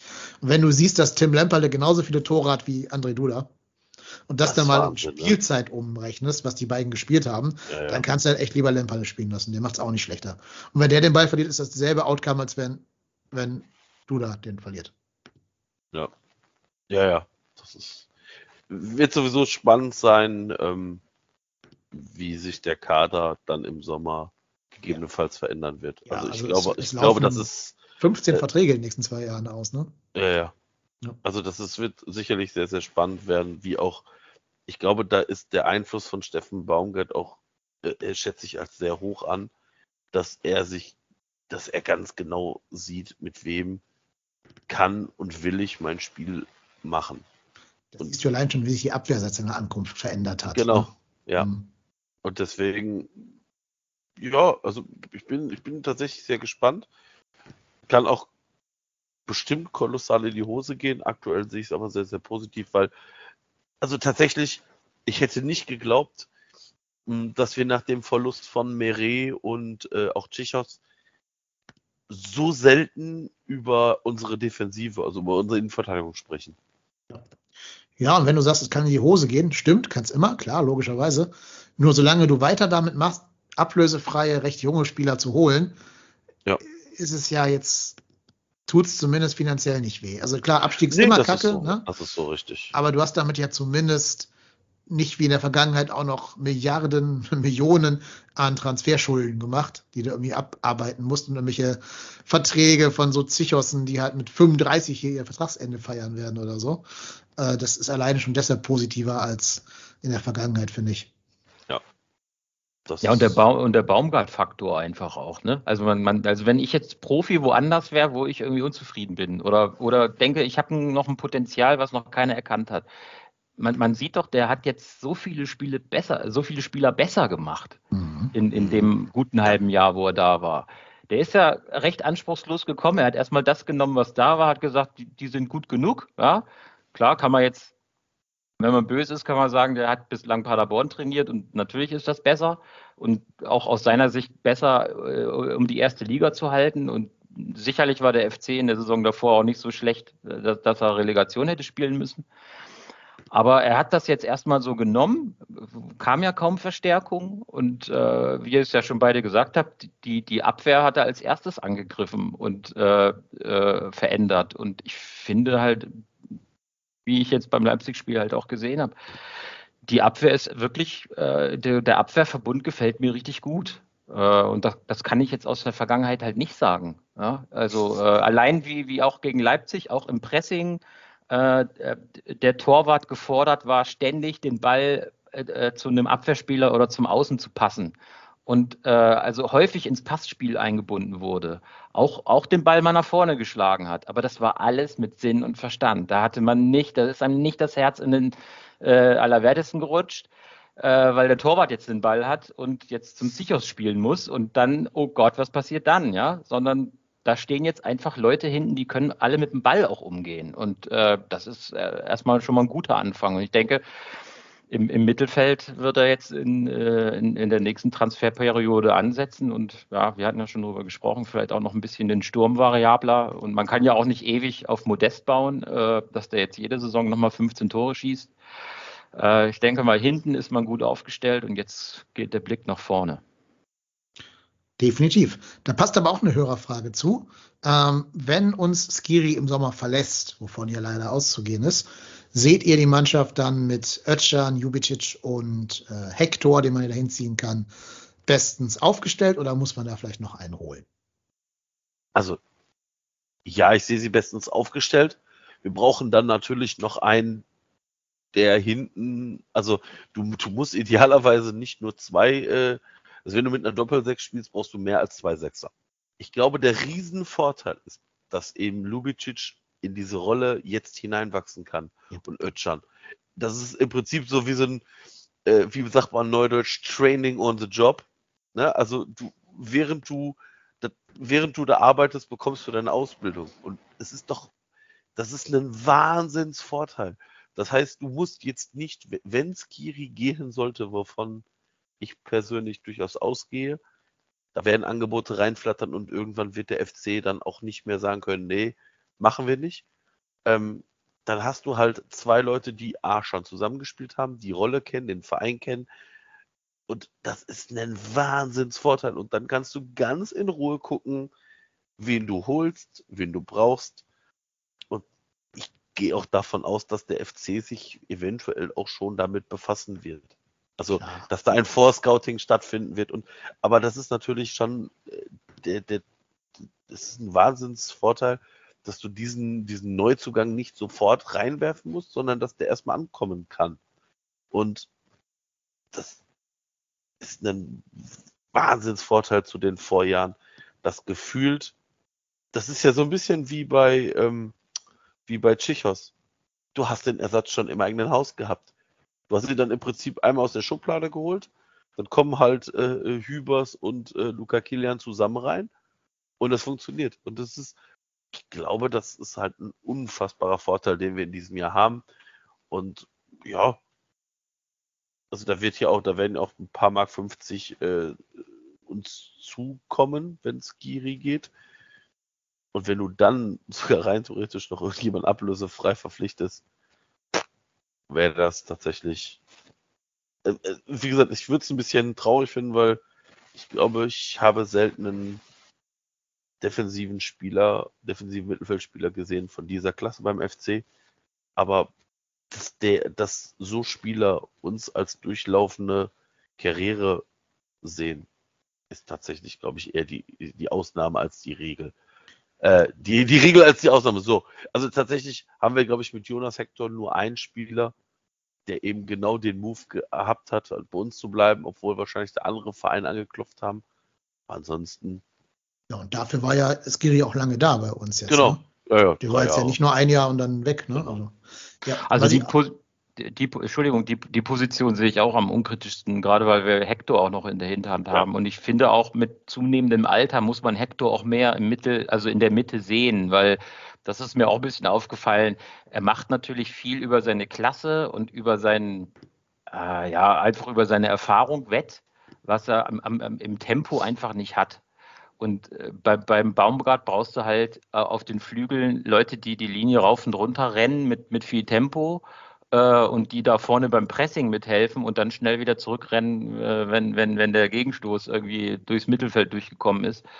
Und da habe ich dann schon beim Hector gesehen, dass er da viel am Hinterherrennen war und halt nicht mehr so das Tempo mitbringt, was man in, in dem Fußball auf dem Flügel braucht. Also glaube ich eher, dass er dann eine Option wird, mehr wieder in der Mitte zu spielen und man dann sich eher wieder auf, auf der linken Seite Gedanken machen muss. Äh, wen haben wir da dann noch neben Janis Horn? Ich muss auch ehrlicherweise sagen, ich würde gerne mal ein Spiel sehen, vielleicht sogar jetzt gegen Eintracht mit deren physisch starken Sechsern, wo Skiri und Jubicic zusammen die Doppel-Sechs bilden und Sally davor spielt. Ich kann mir das wirklich cool vorstellen, so ein Mittelfeld. Diese zwei Laufmaschinen da hinten, die auch körperlich sehr robust sind, groß sind und Kopfbälle im Mittelfeld holen können und so. Und davor halt diesen etwas kleineren, kompakteren, aber auch sehr kampfstarken Ringer Sally Oetschan, der den gegnerischen Zehner dann halt irgendwie in die, äh, in die Parade fährt. Könnte ich mir ganz cool vorstellen. Baumgart scheint es andersrum zu sehen. Er hat jetzt ja auch gegen Leipzig Ötchan auf die tiefe 6 gestellt und Skiri auf die 8. Ähm, da hat auch der Coolidge, der Ed Scissor Records so gefragt, äh, warum. Also der hat es nicht verstanden, warum dieser Move kam. Meine These ist, weil äh, Skiri ja so viele Kilometer abläuft, dass der halt natürlich immer diese Position entblößen würde, die Sechser-Position, während Sully die ein bisschen mehr hält. Dann ist halt die Idee, Sully hält die Position Mhm. und Skiri spielt so den Abfangjäger drumherum quasi. Ne? Also Skiri ist so ein bisschen der, äh, das, das, äh, der Flugzeugträger im ruhigen Wasser. Sully ist ein bisschen der Flugzeugträger im ruhigen Wasser. Und Skiri spielt so den Kampfjet, der drumherum fliegt und alle U-Boote abschießt, die dann kommen würden. Äh, ich habe gerade das Boot gesehen, deswegen fallen mir solche Analogien gerade ein. für, ein, für einen gewissen anderen Podcast. Ähm, kleiner Spoiler. Ja, also das wird wohl der Grund sein. Aber wie gesagt, ich würde auch gerne mal Skiri und Jubicic auf der Doppel-6 sehen und Sully davor. Kann ich mir auch ganz gut vorstellen. Mhm. Und dafür vielleicht mal eben nicht Duda. Ne? Also dann äh, Uth und Thielmann im Sturm davor, wenn Modi nicht fit sein sollte. Wenn dann natürlich Modest, ist ja klar. Ja, könnte vielleicht gerade gegen die Eintracht eine sehr gute, ein sehr gutes Match sein. Ich weiß es natürlich nicht. Die Frage kam übrigens vom Master of the Cineverse, ob wir uns da gut aufgestellt sehen. Ähm, also nochmal an dieser Stelle liebe Grüße. Und dann noch zwei Fragen, dann haben wir es auch für heute geschafft. Seite 12 möchte wissen, wer gewinnt den Super Bowl und wurde Rogers zu Recht MVP? Ja. Ja. Ah, mit meiner Fachkompetenz kann ich sagen, ja. Ja, kannst du auch erklären oder bleibst bei dem Ja? Ja, ich glaube, ähm, es wird in die Overtime gehen und dann werden sie den Cointoss gewinnen. Und ähm, ja, das ist, ich habe, ich, ich, ich bin kein, ich bin absolut kein Football-Experte. Ich habe tatsächlich, ich war etwas schockiert. Ich habe irgendwann letztes Mal mit einem Kumpel Super Bowl ge geguckt und dann hieß es dann, ja, jetzt Overtime und äh, das Team, das diesen, diesen Cointoss, den Münzwurf gewinnt, hat das Angriffsrecht und die, Mhm. die Mannschaft, die zuerst einen, einen Touchdown erzielt, gewinnt das Spiel. Und diese Regel hat mich ja. sch- Also, das ist so, als wenn du sagen würdest, yo, pass auf, wir machen Elfmeterschießen, aber äh, jeder, jedes, also das Der erste, Erste Team, darf das, einmal mehr schießen. jeder, das, nee, nee, das erste Team, das, äh, das, das erste Tor schießt, hat gewonnen. Ja, aber ich, ich schieße als Zweiter, ich habe Pech gehabt. Ja, okay, alles klar. Also, er hat mich tatsächlich äh, arg verwundert, aber äh, ich habe tatsächlich in dem Sport keine Kompetenzen. Ist mir auch, also tatsächlich dauert mir das Spiel auch zu lange. Diesen ewigen Unterbrechungen und dann Flaggen werfen und dann, ach, ja, also das ist, das Einzige, was die tatsächlich besser drauf haben, ist die Kommunikation des, ähm, des Schiedsrichters, weil es ja da tatsächlich so ist, dass die eine Mikrofon haben und ihre Entscheidung begründen. Das wünsche ich Mhm. mir tatsächlich auch fürs, für den Fußball, weil tatsächlich, wenn das beim Eishockey geht, beim Football geht, beim Hockey, selbst beim fucking Hockey geht das mittlerweile, ne? Also, ähm, dann muss der Fußball das auch leisten können. Und selbst wenn nicht der Schiedsrichter es begründet, sondern ein, der vierte Offizielle würde es mir reichen. Also, das, kann ja nicht daran scheitern. Also nochmal, es gibt ja einen vierten Offiziellen, der da unten am Spielfeldrand sitzt und die sich ja auch miteinander kommunizieren, dann kann doch der vierte Offizielle das dementsprechend begründen. Also, allem, habt, habt ihr das mitgekriegt bei dem Spiel von Freiburg gegen Mainz? Dass die vergessen haben, auf Abseits zu checken, der VAR? nee. Ja, Also ja. Fre- Freiburg fühlt sich ja völlig, also nach unserem Spiel gab es ja schon so eine Oh, strittige schade. Situation. Ne? Oh, Die fühlt, äh, ja, Chef, jetzt, also mal ganz kurz, mal ein bisschen Empathie. Chef, Nein. du bist dieser Verein und die vergessen bei dir auf Abseits zu checken. Und deswegen kriegst du, kriegst du ein Tor, was Abseits war. Nach VAR-Check. Gegen dich. Das kann doch nicht sein. Der hat einen Job, der scheiß VAR. Also, der kriegt das Vor allem, hin. der hat, der hat eigentlich nur so eine Strichliste, die er abhaken muss. Ja, Und das erste bei so einem Tor ist doch Abseits. Ja, Ja. Also das, das war wohl alles ein bisschen komplexer, als ich jetzt gerade dargestellt habe. Das war irgendwie so, die, die haben auf irgendwas anderes gecheckt, so ganz genau weiß ich jetzt auch nicht mehr, ähm, was sie da gecheckt haben. Aber äh, haben darüber halt nicht drauf, dran gedacht zu checken, weil den Ball zwischendurch mal der Torwart berührt hat von denen. Aber trotzdem war es halt kein, wie nennt man das, deliberate play oder so. Und deshalb ähm, war es abseits nicht aufgehoben. Hier der DFB-Schiedsrichter-Account äh, twittert folgendes.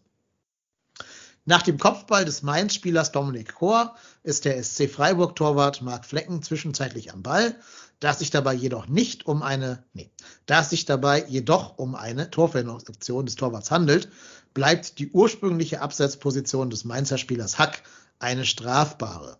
Beim Check des Tores wurde der Schwerpunkt ausführlich auf ein mögliches Foul sowie Handspiel gelegt. Beide Vergehen lagen nicht vor, weswegen der VAR nicht intervenierte. Die strafbare Absetzstellung des Mainzer Spielers Sack wurde beim Check nicht geprüft. Düdüm, Arschkarte. Ja, das wird ja in Zukunft, glaube ich, auch noch entfallen. Ne? Also, äh, wenn ich das richtig gelesen habe oder gehört habe, dass beim, bei diesem Weltpokal, was da gerade in Saudi-Arabien hier mit Chelsea und so stattfindet, da haben die jetzt schon so, so ein automatisiertes äh, Abseits. Äh, Mhm. Ding am Laufen. Also so ein bisschen wie, wie das Hawkeye beim, beim, beim Tor, äh, dass das quasi die ganze Zeit durchläuft. In allen Situationen wird auf Abseits automatisiert schon geprüft und dann wird das dann äh, den, dem VAR immer sofort kommuniziert irgendwie. Also droht wahrscheinlich auch in ja, einem Jahr dann auch in der Bundesliga oder so. Wobei ich gar nicht ganz genau weiß, wie das genau gehen soll.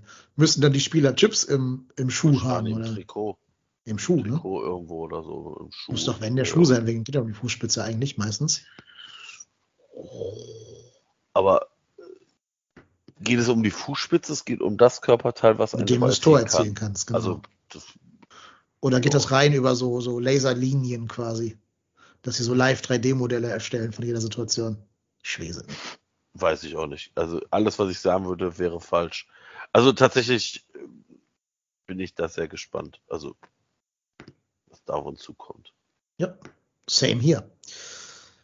Ja, und dann haben wir noch ein größeres Thema für die letzte Fragerunde hier. Und zwar hat auch noch ein Hörer gefragt, oder vielleicht so eine Hörerin, weiß ich nicht, ähm, wie wir denn zum Thema Playoffs stehen würden.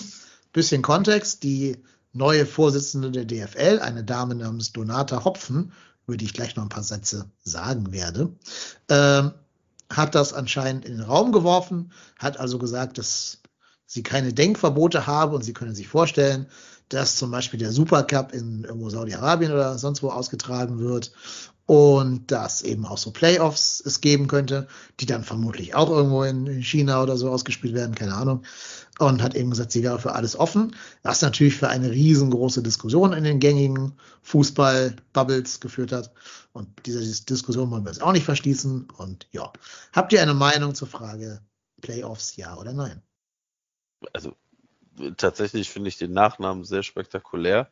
Ich möchte auch gerne Hopfen heiß mit Nachnamen.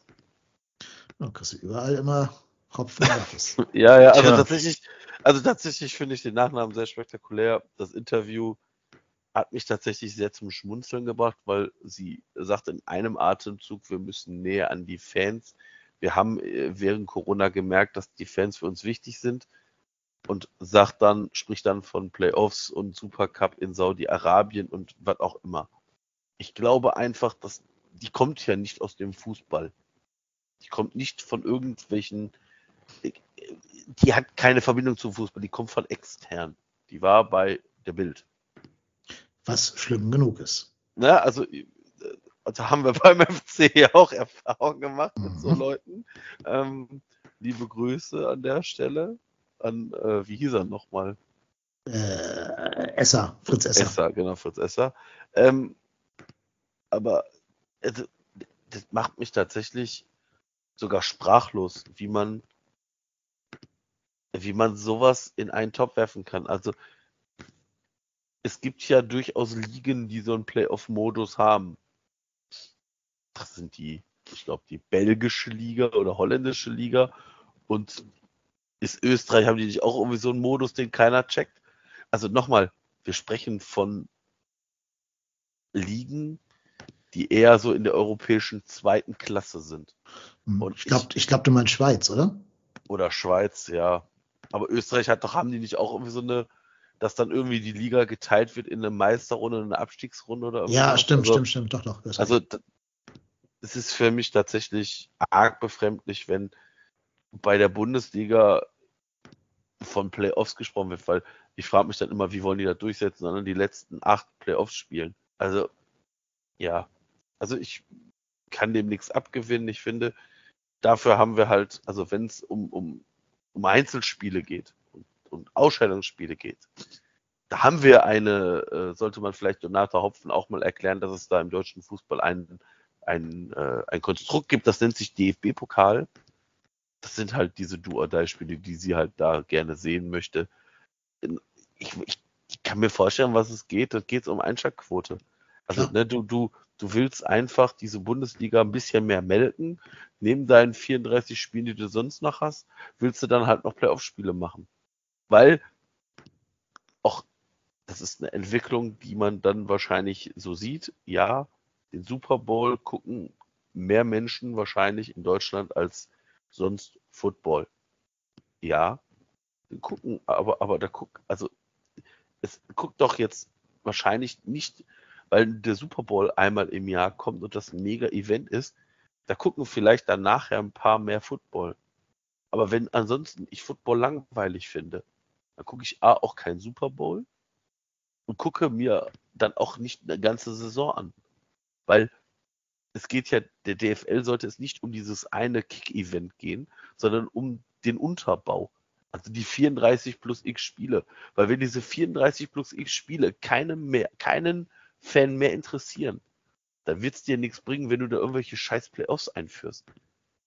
Also, das ist so ein, ja, das ist halt typisch, das ist halt typisch DFL, ne? Also, das ist ja noch nicht mal DFB, sondern tatsächlich die, und es macht mich tatsächlich betroffen, dass die Fußballvereine, ne, also die Vereine der ersten und zweiten Liga, die ja im Prinzip, die DFL ist ja nichts anderes als eine Vereinigung dieser Profivereine. Da so eine Person auswählen. Das macht mich tatsächlich betroffen. Ja, Also ich ich habe ich hab ja schon bei Seifert immer gedacht, ach du Jemine. Ich, ich habe tatsächlich irgendwie nachher gedacht, man wünscht sich sogar mittlerweile fast Christian Seifert zurück. Ja, ähm, ich muss auch zugeben, ich habe überhaupt nicht viel von dieser Personalie mitbekommen, bis die immer mal auf der Tribüne saß bei irgendeinem Bundesligaspiel, Bayern gegen Gladbach war das, glaube ich. Da saß sie dann so ganz dick in so einen Schal eingemummelt, Mütze auf, natürlich eine FFP2-Maske natürlicherweise, logisch, ist ja klar. Ähm, und hat sich ja keinen Millimeter bewegt während des ganzen Spiels. Also nicht mal so Freundlichkeitsapplaus. Und da habe ich mir gedacht, wer ist denn die Frau? Warum zeigen die die immer so groß im Bild? Ist das irgendwie die Frau von irgendeinem Trainer oder so? Wird ja keine Spielerfrau sein, schätze ich einfach mal. Und dann habe ich ein bisschen gegoogelt und herausgefunden, das ist die neue DFL-Präsidentin. Okay. Und dann habe ich erstmal gegoogelt, was hat die so gemacht? Und dann kam als allererster Treffer 15 Jahre Axel Springer. 15 Jahre. Und ich finde, damit bist du für jedes irgendwie ehrenamtliche Amt, was die DFL ja durchaus sein mag, ähm, verbrannt. Also ich finde, wenn du dich für den Springer-Konzern entscheidest, 15 Jahre lang, was dann nicht mehr eine, Jugendsünde sein kann bei 15 Jahren, ne, dann bist du danach nicht mehr für ein gesellschaftliches Amt tragbar. Die DFL ist aber kein gesellschaftliches Amt. Ja, Die kriegt da richtig Knete für, glaubt man mal. Ja, Das ist ja nicht wie der DFB-Präsident, der, der, Das meine ich jetzt den. Amateurfußball vertritt. Das Nein, das meine ja, ich jetzt nicht. Äh, Da habe ich mich gerade falsch ausgedrückt. Aber sie ist überhaupt für kein öffentliches Amt außerhalb der Bild-Zeitung zu, in Erwägung zu ziehen von irgendwem. Niemand sollte jemanden anstellen, der 15 Jahre bei Springer gearbeitet hat, außer das war Günther Wallraff, der da undercover gearbeitet hat. Aber nicht jemand, der diese Konzernlinie von Springer mitgetragen hat, 15 Jahre lang. Da, da kannst du vielleicht noch FDP-Generalsekretärin werden. Und ich sehe hier auch ganz viele Bilder von ihr mit Christian Lindner. Also das ist genauso dieser, dieser Speech, den sie da auch drauf hat, dieser Lindner-Speech, wenn sie davon von Playoffs redet. Ich kann euch jetzt schon sagen, ähm, das war auch im Doppelpass, da war irgend so ein Fanbeauftragter, irgendwie so ein Verein aller äh, Fanclubs der ersten, zweiten, dritten Liga, der war zugeschaltet. Der hieß sogar witzigerweise Thomas Kessen, obwohl ja auch Thomas Kessler da saß. Und äh, der hat schon gesagt, ja, jetzt wo die im Amt ist, hat zuallererst mal die Kommunikation mit den Fans gelitten. Und das halt kein Wunder. Die DFL ist ja die, der Verein oder das Gremium, was die Entscheidung trifft, zum Beispiel, wie so Spiele angesetzt werden und so. Ne? Und ich kann mir vielleicht nicht vorstellen, wie diese Dame mit der Vita und den Aussagen, die sie jetzt schon getroffen hat, sich einen feuchten Fick um irgendwelche Fanbelange scheren will. Ich habe das Gefühl, dass das jetzt war schon mal so den Fuß ins Wasser halten, so der erste Vorstoß. Natürlich auch in der Bild-Zeitung. Ne? Das kommt ja auch noch hinzu. Dieses Interview war jetzt ja nicht in irgendeinem DFL-Medium oder beim Spiegel oder sowas. Das war bei der Bild-Zeitung, bei ihren alten Redaktionsbuddies da. Und ähm, das ist natürlich, niemand vorher hat über, über äh, Playoffs geredet. Niemand, niemand. Das hat die nur reingeworfen, um die Idee in die Köpfe der Leute zu bringen. Jetzt werden also Vor- und Nachteile diskutiert, aber die Idee ist jetzt im Raum. Dieser Elefant wurde in den Raum reingestellt und jetzt muss es halt diskutiert werden. Und damit findest du automatisch jetzt ja auch Pro-Stimmen, weil ja bei solchen kontroversen Diskussionen immer auch Leute zu Wort kommen, die dafür sind. Und dann hast du schon mal so ein bisschen das Wasser getestet und weißt jetzt überhaupt, ob du dich traust, in das Wasser reinzuspringen oder nicht. Ja, und das wird kommen. Also ich bin überzeugt davon, wenn die Frau da ihren Willen kriegt, die Frau Hopfen, dann ähm, werden wir irgendwann mindestens mal den Superpokal da in, in Shanghai spielen, den Supercup, wenn es nicht sogar wirklich Playoffs gibt. Die andere Seite der Medaille ist aber, ähm, ich fände es gar nicht so unspannend, wenn du sagst, der Erste muss nochmal ein Entscheidungsspiel gegen den Zweiten machen oder so ein Entscheidungshin- und Rückspiel. Also klar, Tabelle ist das ehrlichste Medium von allen, das stimmt. Aber der Wettbewerb an sich ist ja total unehrlich geworden, weil die Bayern einfach komplett enteilt sind. Ja, gut, aber, aber, aber ja, pass auf jetzt, aber pass auf, jetzt stell dir mal vor, du, du bist der Verein, der irgendwie, also tatsächlich, äh, es gibt ja in einigen Sportarten, Eishockey, Football, Basketball, gibt es, gibt es ja Playoffs. Ist auch alles okay. Aber stell dir mal vor, du, du spielst die Bayern spielen der Saison, gewinnen 34 von 34 Spielen. und haben dann, weil also die meisten Playoff-Modi sind ja nicht ein Do-or-Die-Spiel, sondern ein Best of Three. Also du musst mindestens, du musst äh, von drei Spielen musst du mindestens zwei gewinnen oder du Best of Five, du musst mindestens drei Spiele gewinnen. Also das sehe ich einfach nicht. Nö, ich würde, wenn, einfach Erster gegen Zweiter hin und rück. Zweiter hat Rückspiel zu Hause. Punkt. Das können wir noch Ja, vorstellen. Aber, aber, aber was soll das denn bringen? In einem Spiel kannst du immer hoffen, dass Dortmund mal gegen Bayern gewinnt. In 34 halt nicht. Ja, aber sie vers- versuchen doch jetzt einfach diesen toten Gaul weiter zu reiten mit einer neuen Genau. Idee, dass, dass er noch Genau. ein paar Jahre länger, länger geritten werden kann. Ja, Also, äh, also wie, der, wie der Marco das gesagt hat, die Playoffs, die es sonst so gibt, vor allen Dingen im amerikanischen Bereich, die gibt es halt in einem vitalen Wettbewerb, in einem Wettbewerb, der funktioniert. Deswegen macht man dann quasi so Playoffs, die allerdings wieder einigermaßen gerecht sind, weil man einigermaßen häufig gegeneinander spielt und nicht einmal hier die Münze wirft und sagt, Mensch, heute ist mal irgendwie Dortmund weiter und äh, deutscher Meister und mal nicht die Bayern. Ähm, was, was, was man jetzt versucht mit dieser Playoff-Idee ist doch einfach zu sagen, okay, Bayern wird jetzt in diesem Jahr zum zehnten Mal hintereinander deutscher Meister. Das gab es noch nie. Es gibt keinen sportlichen Wettbewerb mehr. Und jetzt versucht man natürlich irgendwie neue Würze reinzubekommen, weil man die wirklich heißen Eisen will man ja nicht anfassen.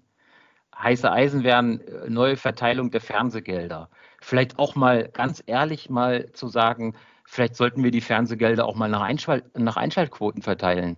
Ja, dann, dann hätten wir vielleicht auch mal wieder Vereine in der ersten Bundesliga, die auch wirklich jemanden interessieren.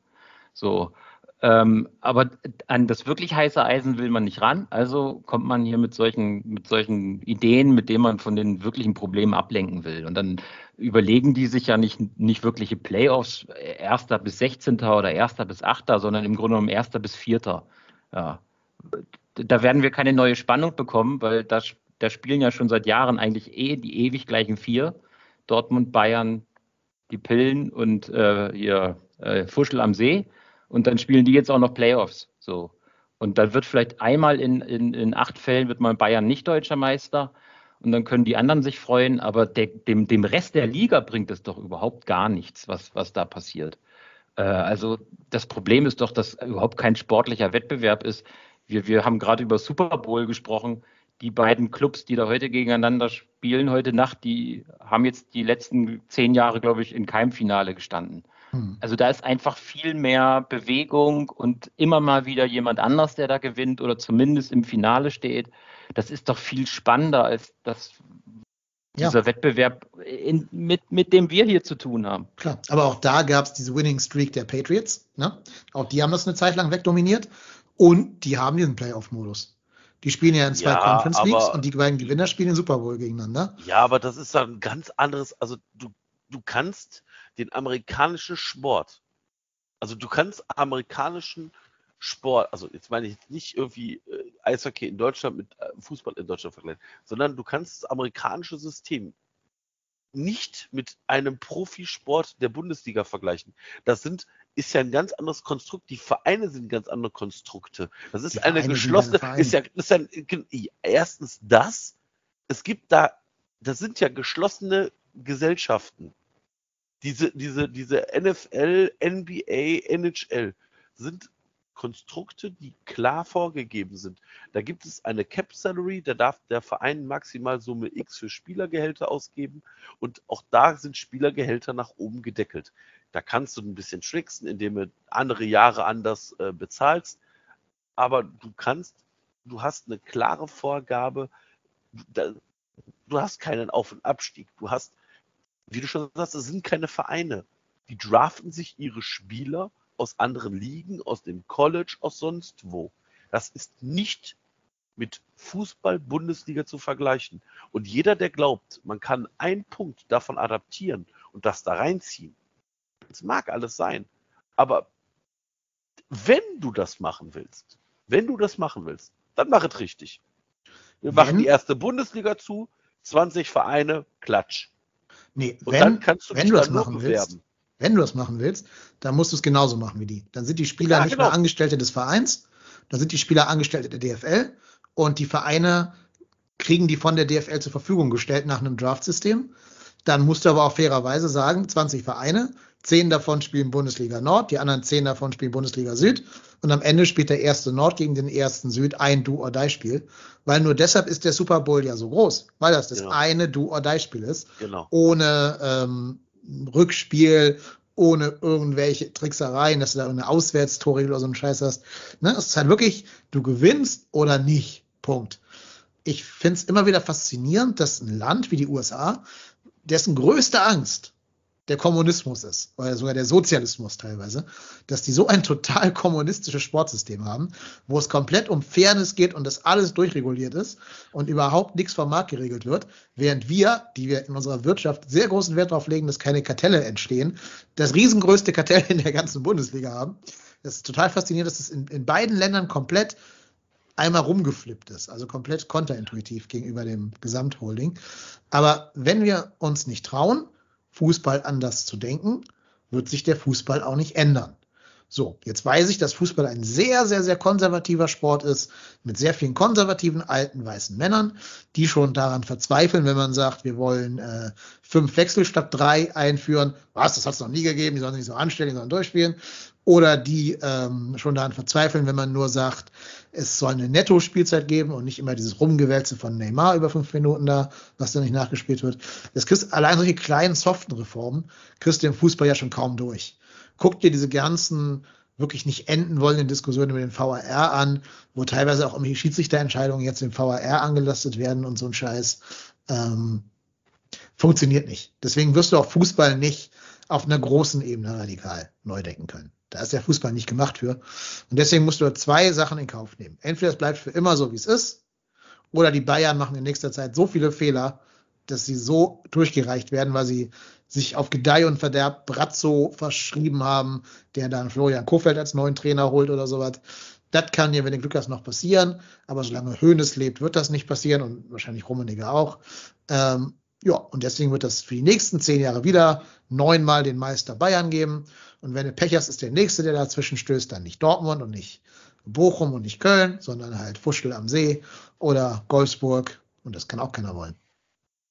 Das Problem ist doch die Verzahnung der Wettbewerbe. Das haben die Amis ja auch nicht. Die, da, da Ja, spielt ja jetzt genau. nicht irgendwie der Footballmeister dann noch irgendwie in einer, in der Weltliga des Footballs, so wie wir hier dann. Und das ist ja das einzige Argument immer von- Bayern München. Ja, wenn wir jetzt hier die Fernsehgelder gerechter verteilen, dann werden wir nie wieder die Champions League gewinnen. Weil man da natürlich dann in einem Wettbewerb auf Clubs trifft, die aus einer ganz anderen Welt kommen, die aus Ligen kommen, wo es kein 50 plus 1 gibt, wo es Investoren gibt und, und so weiter und so fort. Und man da als Bayern München halt den Anspruch hat, man will da ewig auch mitspielen und eine Chance auf den Titel haben. Wenn die Bundesliga so ein Closed Job wäre, könnte es auch einen Aufstieg und Abstieg noch weiterhin geben. Aber es gäbe nichts nach oben, nichts Europäisches, wo man auch noch Ambitionen hat und sich mit Vereinen messen äh, will, die, die aus ganz anderen Sphären kommen dann, dann könnte man das viel, viel gerechter äh, in der, in der Bundesliga verteilen. Und ich finde, das muss der, das muss der Anspruch sein, dass, dass die Fernsehgelder gerechter verteilt werden. Entweder jeder kriegt das Gleiche oder nach, nach Einschaltquoten, damit auch mal ein bisschen die Fans äh, und äh, beziehungsweise die Vereine äh, einen Vorteil bekommen, die auch wirklich eine Fanbase haben, äh, dass das zumindest so, so einen Wettbewerbsvorteil auch mal darstellt. Ähm, aber so wie das jetzt läuft, wird das in, in diesem einfach immer Bayern München wird deutscher Meister, wird das immer so bleiben. Äh, was, wie finden Sie denn die Idee? Dass man sagt, der Erste muss nochmal gegen den Zweiten spielen, Zweiter hat äh, Rückheimspielrecht im Rückspiel und so rum. Dann hättest du halt zumindest ein Spiel, wo es um alles geht, im ausverkauften Westfalenstadion, dann nach Corona. Ja, aber, aber, das, aber, das, aber das ändert doch nicht die Liga. Aber was ändert das die Liga? Das ist doch, das ist doch, das sind zwei Spiele mehr, die für den Rest Fußball Deutschlands irrelevant sind. Würdest du es gucken? Nein! Du würdest nicht gucken, wenn, wenn Nein! Bayern in Dortmund dran muss und das Hinspiel vielleicht interessiert 1-1 war. so. Ernsthaft, aber ganz ehrlich, ich, ich gucke ich, ich guck in dieser Bundesliga nur noch Spiele meines Vereins. Ich gucke Ja, nur so noch weit ist das Spiele jetzt schon. Ja. Und, und nochmal, ob jetzt Bayern oder Dortmund Meister wird, es interessiert mich so wenig. Das, das Natürlich würde es doch, mich, also das ist doch Aber- eigentlich keine Diskussion, wer von beiden da Meister werden sollte, oder? warum? Ist, ist das eine Konstrukt besser als das andere? Ja, natürlich. Nee, sehe ich nicht. Doch, finde ich aber, also da finde ich, sind Welten zwischen. Also ich finde, bei Dortmund gibt es auch wenige Sympathen in der Führungsebene. Ja, das ist doch also, scheißegal. Darum geht's doch nicht. auch, weiß ich nicht. Also, wenn du mich, also, wenn ich mir es jetzt aussuchen dürfte, würde ich mir tendenziell jetzt, äh, würde ich mir jetzt wahrscheinlich nach einer Zeit eher mal Dortmund als Meister wünschen als die Bayern. Aber ob jetzt Dortmund oder Bayern Meister wird, ist mir so scheißegal. Ich, ich finde, da liegen Welt inzwischen alleine, was die Menschen interessiert. Also Bayern-Fan bist du doch so, ja, die gewinnen halt und ich will gerne gewinnen, deswegen Ja, bin ich Bayern-Fan. Dortmund-Fan bist du doch auch, als wenn die absteigen, bleibst du Dortmund-Fan. Wenn die Bayern absteigen, sind die alle weg. Dann sitzen da noch so ein paar Ah. Ultras, Diehards, aber bei Ah, Dortmund kommen auch in der zweiten nicht. Liga 80.000. Weiß ich nicht. Ich glaube, Oder auch die Bayern 70. würden, würden wahrscheinlich, die Bayern würden aber in der zweiten Liga auch das Stadion voll kriegen. Ja, nach ich vier glaube, Jahren nicht mehr. Wenn die jetzt den HSV machen würden, das Ich glaube auch, dass die Dortmunder nach vier Jahren wahrscheinlich nicht mehr ins Stadion voll Glaube ich halt nicht. Das ist, glaube ich, so tief in der. DNA des ganzen Ruhrgebiets drin. Hm, hm, Das habe ich bei Schalke auch gedacht. Also tatsächlich. Ja, jetzt bei Schalke das muss Beispiel. Corona mit reinrechnen. Ne? Stell dir vor, es wäre keine Seuche. Nee, nee, nee, nee, nee, nee, nee, also jetzt nicht Corona. Also tatsächlich merkst du, dass die, die Fans nach so einer, bei den Schalker ging das ja tatsächlich, es war ja ein schleichender Tod. Und ich glaube halt einfach, dass irgendwann man an den Punkt kommt, wo man sagt, es reicht. Es reicht mir jetzt einfach. Ich gehe nicht jedes Spiel dahin. Und wenn das halt dann nicht nur 5000, sondern 25.000 machen, wirst du dann mal den Hans Günther haben oder den Carsten, der mal sagt, ach komm, so zwei Spiele, gucke ich mir in der Saison aber an. Aber Ja, aber sorry, also 34 wir, sind- wir sind doch auch immer ausverkauft in der zweiten Liga. Lautern war jetzt ausverkauft gegen Magdeburg. Okay, nur 10.000 wegen Corona, ne? aber die waren ausverkauft. Du glaubst ja nicht, dass 10.000 in der dritten Liga zu Bayern gehen würden. Hm, Ich weiß nicht. Ich glaube, die haben, also ich, ich glaube, dass man auch da die Fanbase wahrscheinlich ein bisschen unterschätzt. Glaube Ich weiß nicht, ob ich weiß nicht, ob man der Fanbase in Dortmund, ich glaube auch, dass die größer ist und stärker ist, aber ich weiß nicht. Ich kann das in München nicht einschätzen. Dafür bin ich da auch vielleicht zu weit weg. Ja, vielleicht dafür vielleicht müssen wir mal den dafür- Robin einladen Vielleicht, interess vielleicht interessiert mich das auch zu sehr wenig. Also tatsächlich, ob bei den Bayern ausverkauft oder nicht ist oder in China fällt ein Sack Reis um oder was auch immer, das interessiert mich nicht. Also Ja, äh, nochmal, ich, klar möchte ich eine verhältnismäßig ausgeglichene Bundesliga haben. Die wirst du doch aber nicht durch eine fucking Playoff-Spiel ändern. Die dem der Bundesliga nicht, nein, wo den Gegen den zweiten spielt. Ja, Nein, die Bundesliga aber das bleibt die gleiche. Doch, du hast plötzlich wieder einen Fight um Platz zwei. Jetzt Ach, ist ja scheißegal, wer was? Zweiter wird. Ob Leverkusen Zweiter oder Dritter wird. Ja, aber Dortmund. ob dann Leverkusen oder Dortmund gegen die Bayern spielt, ist mir doch auch ja, scheißegal. dir aber doch nicht auf einer neutralen Position. Aber also, wenn, wenn man Playoffs macht, dann müssten das mehr als nur vier sein. Da Nee, da bin ich gegen. Dann, dann Ja, aber- spielt der aber Sechste in aber- der Relegation, äh, in, in den Playoffs. Ja, aber dann, dann, dann spielen jedes Jahr Bayern gegen Leipzig und Dortmund gegen Leverkusen. Dann sagen, dann sprechen wir nämlich in drei Jahren, also das ist die ersten drei Jahre interessant. Und irgendwann sagst du dir, ach, die Playoffs. Das ist so, als wenn wir jetzt davon sprechen, ach, die Champions League Quali. Hm, das spielen ich immer die ich bin gleichen doch gar nicht für, für die ersten vier. Ich bin auch für Erster gegen Zweiter. Ja, aber es- wie behindert wäre das denn? Hallo, hallo. Das Wort behindert benutzen wir bitte nicht als Beleidigung in diesem Podcast. Hier. Scheiße. Wie Ja, das scheiße du gerne. wäre das denn? Aber, also, Ja, ne, warum? also das, ist doch, das ist das Einzige, was, was interessiert. Aber ist Also, doch schon der Supercup, den haben wir doch schon. ja, aber der Erster kann es doch keinen, weil der vor der Saison ist. Das ist ja vor der Saison, wenn die alle noch in so einem Vorbereitungstrainingslager, Saufmodus sind. Da kann es doch keinen. ich, ich sehe nicht, wie dadurch die Bundesliga Qualität gewinnt. Die Bundesliga als Gesamtkonstrukt nicht, aber du hast zumindest, kannst du diese Vorherrschaft der Bayern vielleicht mal in zwei Jahren von acht brechen. Und dann? Da sind sie zumindest halt nicht zehnmal, also achtmal, achtmal in acht Jahren Meister geworden. Ja, aber ob die jetzt, aber jetzt mal Ernst, ob die jetzt achtmal oder zehnmal hintereinander Meister werden oder, oder sechsmal, äh, das ist doch nur, da hat sich, da hat dann irgendwer anders bei sich auf dem Briefbogen was stehen. Und in der Regel ist es einer der Vereine, es ist ja in der Regel, es ist ja selten, dass Freiburg, Frankfurt, Mainz oder Bielefeld Zweiter geworden sind. Es sind doch immer die gleichen Verdächtigen. Und die sind dann nicht, weil das so ein ausgeglichener Wettbewerb ist, sondern weil da Kohle fließt ohne Ende. Das ist in Dortmund nicht anders als bei Bayern oder Leverkusen oder Wolfsburg oder Leipzig? Nimm Schalke. In der Saison 2017-18 hätte Schalke einen Meisterschaftsplayoff bekommen. Das hätte doch Leute interessiert. Der hätte doch der ganze Ruhrpott Ja. gebrannt. Ja. Die wären für ihre geile Saison noch belohnt worden, hätten die Chance bekommen, dann in ihrer ausverkauften Feldhins Arena mit, weiß ich nicht, wie vielen Aber, aber, was, Fans. aber was ist denn der, aber was, ich, also, wenn da nur der Meister ausgespielt wird in, in zwei Spielen, dann hast du wieder so eine blöde Auswärtstorregelung, oder? Nee, die musst du weglassen. Da bin ich auch gegen, gegen Auswärtstorregel. Aber ich ja sehe nicht. mehr. also ich sehe tatsächlich, ja, du hast wahrscheinlich, einen, also so wie, das ist so wie Relegation. Also tatsächlich ist, sind die einzigen Spiele, die ich mir angucke mit Nicht-FC-Beteiligung, Relegationsspiele Ja. für mich da tatsächlich, aber auch nur, wenn ein Verein dabei ist, den ich entweder brennen sehen will oder den ich hochkommen sehen will. ja, gut. Das ist meistens Also, der Fall, eins von beiden. Also das ist tatsächlich so, das ist doch tatsächlich so. Du guckst dir doch keine Relegation an, wenn da, weiß ich nicht, wenn da Bielefeld gegen Heidenheim spielt. Guckt man sich doch nicht an.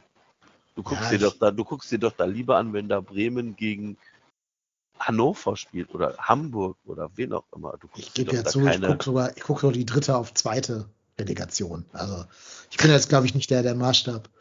Ich gucke mir dann da auch Ingolstadt gegen, weiß gar nicht, wer es war, an. Äh, Magdeburg oder keine Ahnung, wer es war, habe ich schon vergessen. Ähm, ja, ist auch, glaube ich, egal. Wir werden da keinen Konsens finden. Am geilsten für die Spannung fände ich wirklich, du hättest Bundesliga Nord und Süd und ein Super Bowl am Ende. Dann hättest du nämlich eine Liga von den beiden, wo die Bayern nicht mitspielen würden. Wenn du dann noch Bayern und Dortmund in derselben Liga hättest, also nicht Nord-Süd, sondern irgendwie, weiß ich nicht, keine Ahnung, irgendeine andere Aufteilung der Liga, hättest ja einen St- Strang, wo immer ein anderer auf jeden Fall in diesen Super Bowl reinkommen würde. Und da wäre schon Spannung. Aber, drin. aber für diese Spannung, also ich sage jetzt mal vor sich selbst, wenn du sagst, das, das ist die Aufteilung Südwest und Nordost und du hast Bayern und Dortmund in einer Gruppe, dann spiele in der anderen, ja gut, das wäre das wär dann jetzt schwierig, wenn, wie das aufgeteilt wird, Leipzig und Wolfsburg. Und wenn du dann zehnmal hintereinander hast, dass Wolfsburg oder Leipzig gegen Bayern oder Dortmund spielen, dann sagst du dir auch immer nach zehn Jahren, oh, ja, also der, du, diese amerikanischen, dieser amerikanische Sport ist deshalb so interessant, weil es halt tatsächlich vorkommen kann, dass jedes Jahr da andere Vereine spielen, weil die das gleiche Geld haben. klar. Die haben jeder Summe X und können die ausgeben. Na klar kannst du dann, wenn du gute, Trade, gute Trades machst oder gut draftest und du dir so ein, so ein junges Team aufbaust und das auf Jahre hinweg dominierst. Das kann passieren. Aber das ist ja was anderes, als wenn jedes Jahr in der Fernsehverteilung Verein X ein Drittel mehr bekommt als Verein Y. Oder Ja. Drittel ist ja das Doppelte meine, in der oder dreifach in der Regel. Auch da ist ja nicht alles perfekt. Ne?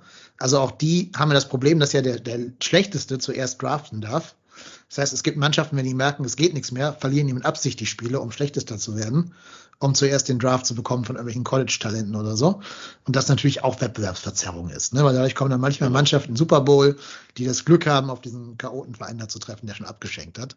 Ähm, ist ja ein Closed System, ein Closed Shop, also die können nicht absteigen, deswegen, wenn sie slacken. Ne? Also das ist auch nicht ohne Probleme, dieses System. Vielleicht kann man es auch mal ganz radikal denken und sagen, du machst eine Bundesliga reich gegen eine Bundesliga arm. Da kommt zumindest immer ein armer FC Köln, gleichwertiger Verein in die Playoffs und kann in einem Spiel einfach mal zeigen, ob er die Bayern besiegen kann oder nicht. So wie Bochum gestern. Das, Da machst du halt so Klassenkampf draus. Weißt du, Big Brother Haus aber reich das, gegen Big aber das Brother werden die ja nicht machen. Also noch Natürlich mal, nicht, also, weiß ich. Ist mir schon bewusst. Ich habe doch gesagt, das ist eine alte weiße Männergarde. Ja, also deswegen ist diese, diese, diese, dieser, nochmal, das ist, wie der Bastian vorhin schon richtig sagte, das ist die Kuh nochmal noch mal ein bisschen mehr melken. Irgendwie da nochmal zwei Spiele sich rauslungern oder x Spiele mehr rauslungern. Aber Attraktivität oder Gleichheit oder Fairness mehr wird es dadurch nicht geben. Ja, da kommen wir nicht zusammen. Ich würde dieses Spiel auf jeden Fall gucken, wenn ich mir jetzt halt nicht Bayern gegen Gladbach angucke. Ja, aber du guckst dir ein Spiel halt mehr in der Saison an. Ja klar, aber das Spiel, da würde ich auch sogar tatsächlich involviert sein in dieses Spiel. Ich würde es nicht nur so nebenbei gucken, ich würde das aktiv und bewusst gucken und hätte da auch eine Meinung zu, von wem ich mir wünsche, dass der gewinnt oder halt nicht gewinnt oder so. Ähm, vielleicht nicht bei jeder Konstellation, also jetzt bei Wolfsburg gegen Leipzig, ne?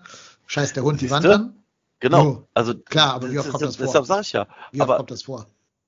ja, aber ich glaube halt, dass die Bundesliga dadurch nicht an Attraktiv- Attraktivität gewinnt. Das sage ich ja auch nicht. Ich sage nur, es Ja, aber, halt wa aber warum machst du das denn? damit Bayern nicht immer Meister wird, habe ich jetzt zehnmal gesagt. Ja, aber das ist, kann ja nicht der. Also das ist, die DFL hat ja irgendeine, irgendeine Idee dahinter, dass die sagt, wir führen die Playoffs, also wir möchten die Playoffs einführen, Ja, gut, die wollen halt TV-Gelder einkassieren, Ja. klar. Genau. Hast du ja auch. Also das hättest du dadurch ja auch. Das Spiel kannst du ja wirklich auf der ganzen Welt dann vermarkten. Ja, aber wenn, wenn die Verteilung dann so stattfindet, Ja, wie sie bisher der stattfindet, Gewinner dann, kriegt, klar, hat's wieder der. Ja, ist schon richtig. ne? also dann kannst du, kannst du da hinter einen Haken machen und sagen, ja, okay, dann kriegt derjenige nochmal 10% mehr. Und dann zementiert sich das dann auf Dauer auch wieder ein. Also Ja, das ist ich ja, halt nur, es würde mein Guckerlebnis steigern. Mehr habe ich überhaupt nie gesagt. ja, okay. Ja gut, aber wer sich Relegation Ja, dritte, nix. Liga anguckt, äh, Ja. Weil es halt ein Do-or-Die-Spiel ist. Ich habe die Saison, ich habe die Mannschaft die ganze Saison nicht gesehen, die das spielen. Ne? Also ich kann ja nicht mal sagen, wie der Trainer von Ingolstadt wahrscheinlich halt in dem Moment heißt. Aber es geht halt um alles oder nichts. Also gucke ich das dann. Zumindest halt, also ich sitze jetzt nicht mit einem Fanhütchen vorm Bildschirm und feiere irgendwie den Gegner von Ingolstadt. Das jetzt auch nicht, aber ich lasse es halt laufen. ja, Wahnsinn. Ich habe sogar Ingolstadt gegen 1860 geschaut, was das vorentscheidende Spiel für die Relegation war. Ja, ja, Ja, da gut, geht's halt um was. Es war halt erster Ja. gegen zweiter und ne, alles oder nix. okay. Ja, ich, ich sag nichts, ich sag nichts.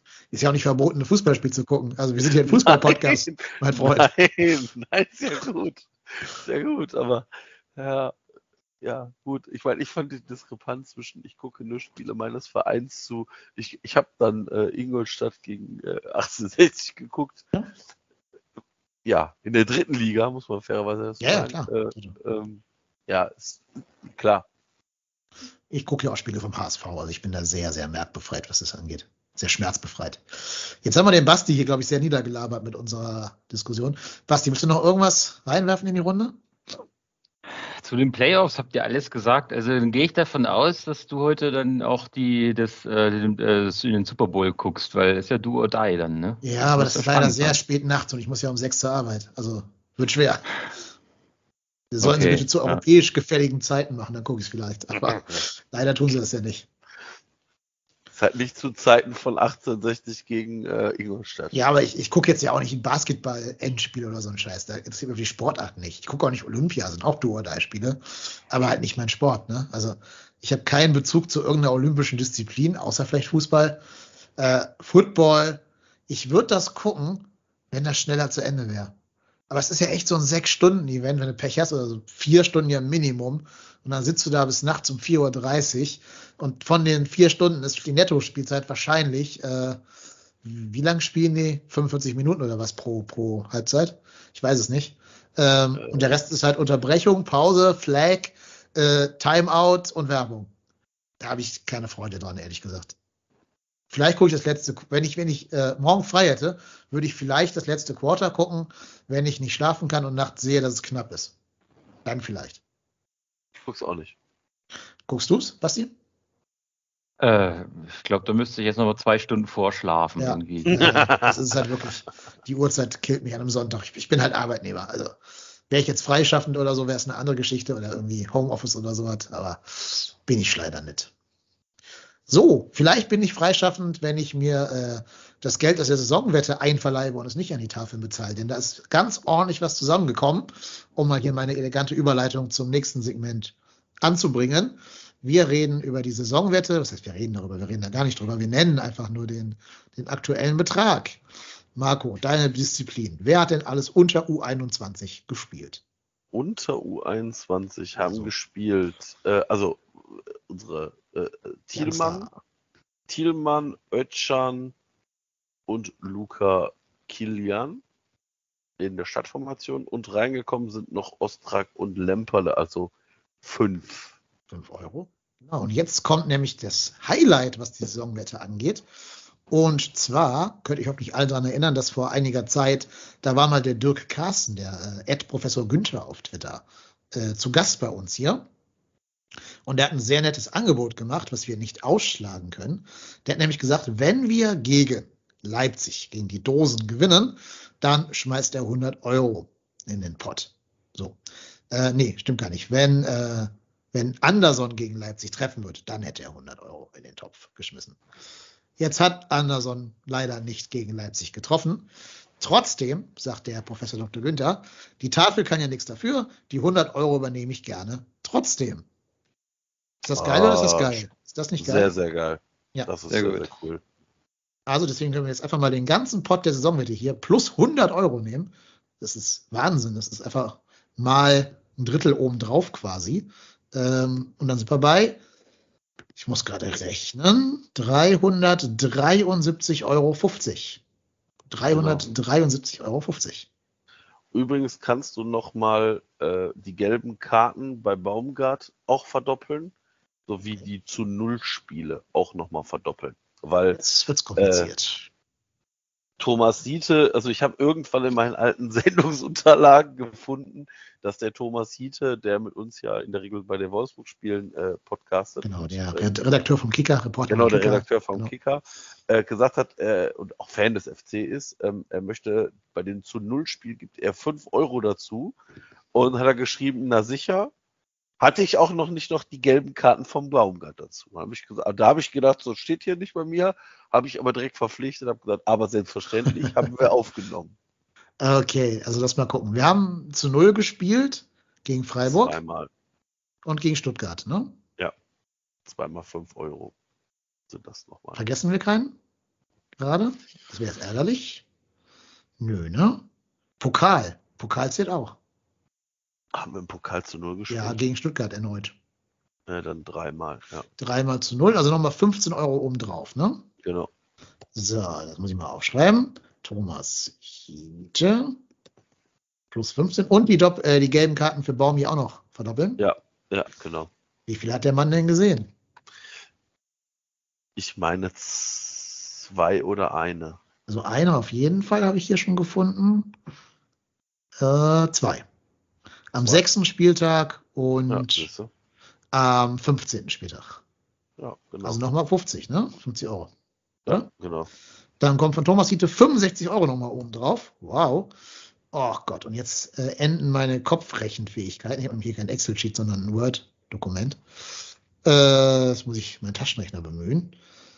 373,50 Euro plus 65 Euro von Thomas Hiete sind 438,50 Euro. Ja, stabil.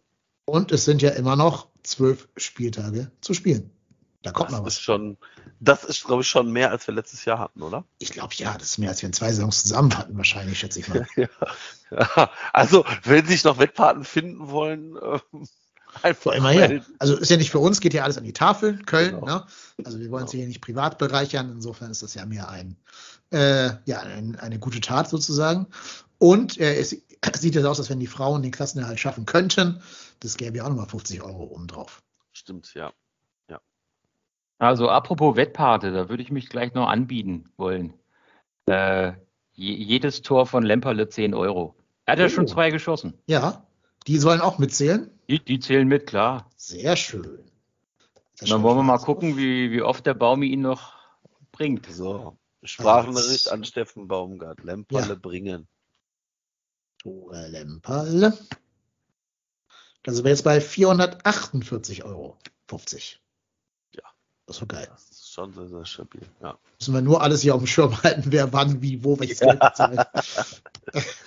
Also bitte auch selber alle ein bisschen mitarbeiten, liebe Hörerinnen und Hörer, dass ihr, dass ihr alle mit dran denkt. Äh, sonst kommen wir hier wahrscheinlich komplett durcheinander. Und hier nicht vergessen, da fehlen immer noch die plus 50 Prozent, die der Tom hinterher draufschmeißen Ja, will. stimmt. Also sind wir schon eher bei 600 irgendwas. 660 roundabout. Geil. Ja. Mega. Das ist schon sehr, sehr gut. Ordentlich. Genau. Wenn ihr jetzt noch sagt, okay, neben der Saisonwette, die natürlich auch einen guten Zweck äh, zugutekommen soll, möchte ich aber auch noch den Jungs von trotzdem hier was Gutes tun, weil sie sich gerade hier fast die Köpfe eingeschlagen haben über die Playoff-Diskussion, äh, auch für den Erhalt von Wärmepflastern wahrscheinlich, für den Erwerb von Wärmepflastern. Dann könnt ihr gerne auch Geld an uns spenden und nicht nur an die Tafeln. Das könnt ihr wie folgt tun. Dafür geht ihr bitte auf www.trotzdemhier.de slash spenden. Und dann findet ihr dort alle Infos, wie man uns per PayPal oder Coffee unterstützen kann. Ja. Und da freuen wir uns auch über alles, was da kommt. Sei nochmal stellvertretend äh, der Hörer C.S. erwähnt. Ich habe keine Erlaubnis, seinen vollen Namen zu nennen. Ich habe auch nicht danach gefragt, deswegen. Ne? Der uns für jeden Punkt des ersten FC Köln immer einen Euro rüberschießt. Alleine beispielsweise. Aber wir können uns auch mal bedanken bei L.F., bei M.M., bei B.W., A.E., S.K. und so weiter. Vielen Dank an euch alle. Ähm, besonders S.K. hat 19,48 Euro gespendet. Also, lieben Dank. So sieht's aus. Du, du weißt, wer gemeint ist, glaube ich. Liebe Grüße und lass mal wieder von dir hören. Gib mal ein Lebenszeichen, S.K. Du, du weißt, wer gemeint ist. Okay. Ähm, ich glaube, das war's, ne? Genau. Also, und wer wie Sebastian auch mal äh, Teil dieser Sendung sein möchte, meldet sich am besten direkt bei mir bei, per Twitter, at hennes oder bei uns, äh, am, am, bei uns bei trotzdem hier oder per E-Mail oder per Fax, per Brieftaube, wie auch immer. Schreibt mir und dann werden wir meistens einen Weg finden, wie wir das zusammen machen. Bis jetzt haben wir, glaube ich, noch jeden untergekriegt, der Interesse bekundet hat. Meistens ja. Ja. Nicht, dass Uli Hoeneß uns jetzt einen Fax schickt, ne? Guten Tag. Wir haben hier den FC Bayern rund gemacht. Ich muss mit Ihnen reden. Ich, ich wollte gerade sagen, ich habe also ich habe tatsächlich Fax kann man glaube ich nicht empfangen, also zumindest wüsste ich es nicht. Ich könnte meinen Arbeitgeber Faxnummer angeben, aber lieber nicht. Das muss keiner wissen, wo ich arbeite. Das wäre schlecht für mich. Ja, gut. Dann bleibt uns, glaube ich, nur noch die feierliche Verabschiedung. Lieber Bastian, vielen Dank, dass du da gewesen bist und du bist herzlich gerne wieder eingeladen beim nächsten Mal. Halt die Stellung da in Leipzig, ne? halt die FC-Flagge auch im Feindesland hoch und bis zum nächsten Mal. Ja, danke schön. Und lieber Marco, auf Twitter der Ed Ruhrpott Tennis. Ähm, ja, gerne wieder angeregte Diskussionen mit dir beim nächsten Mal. Ja, über äh, was hatten wir?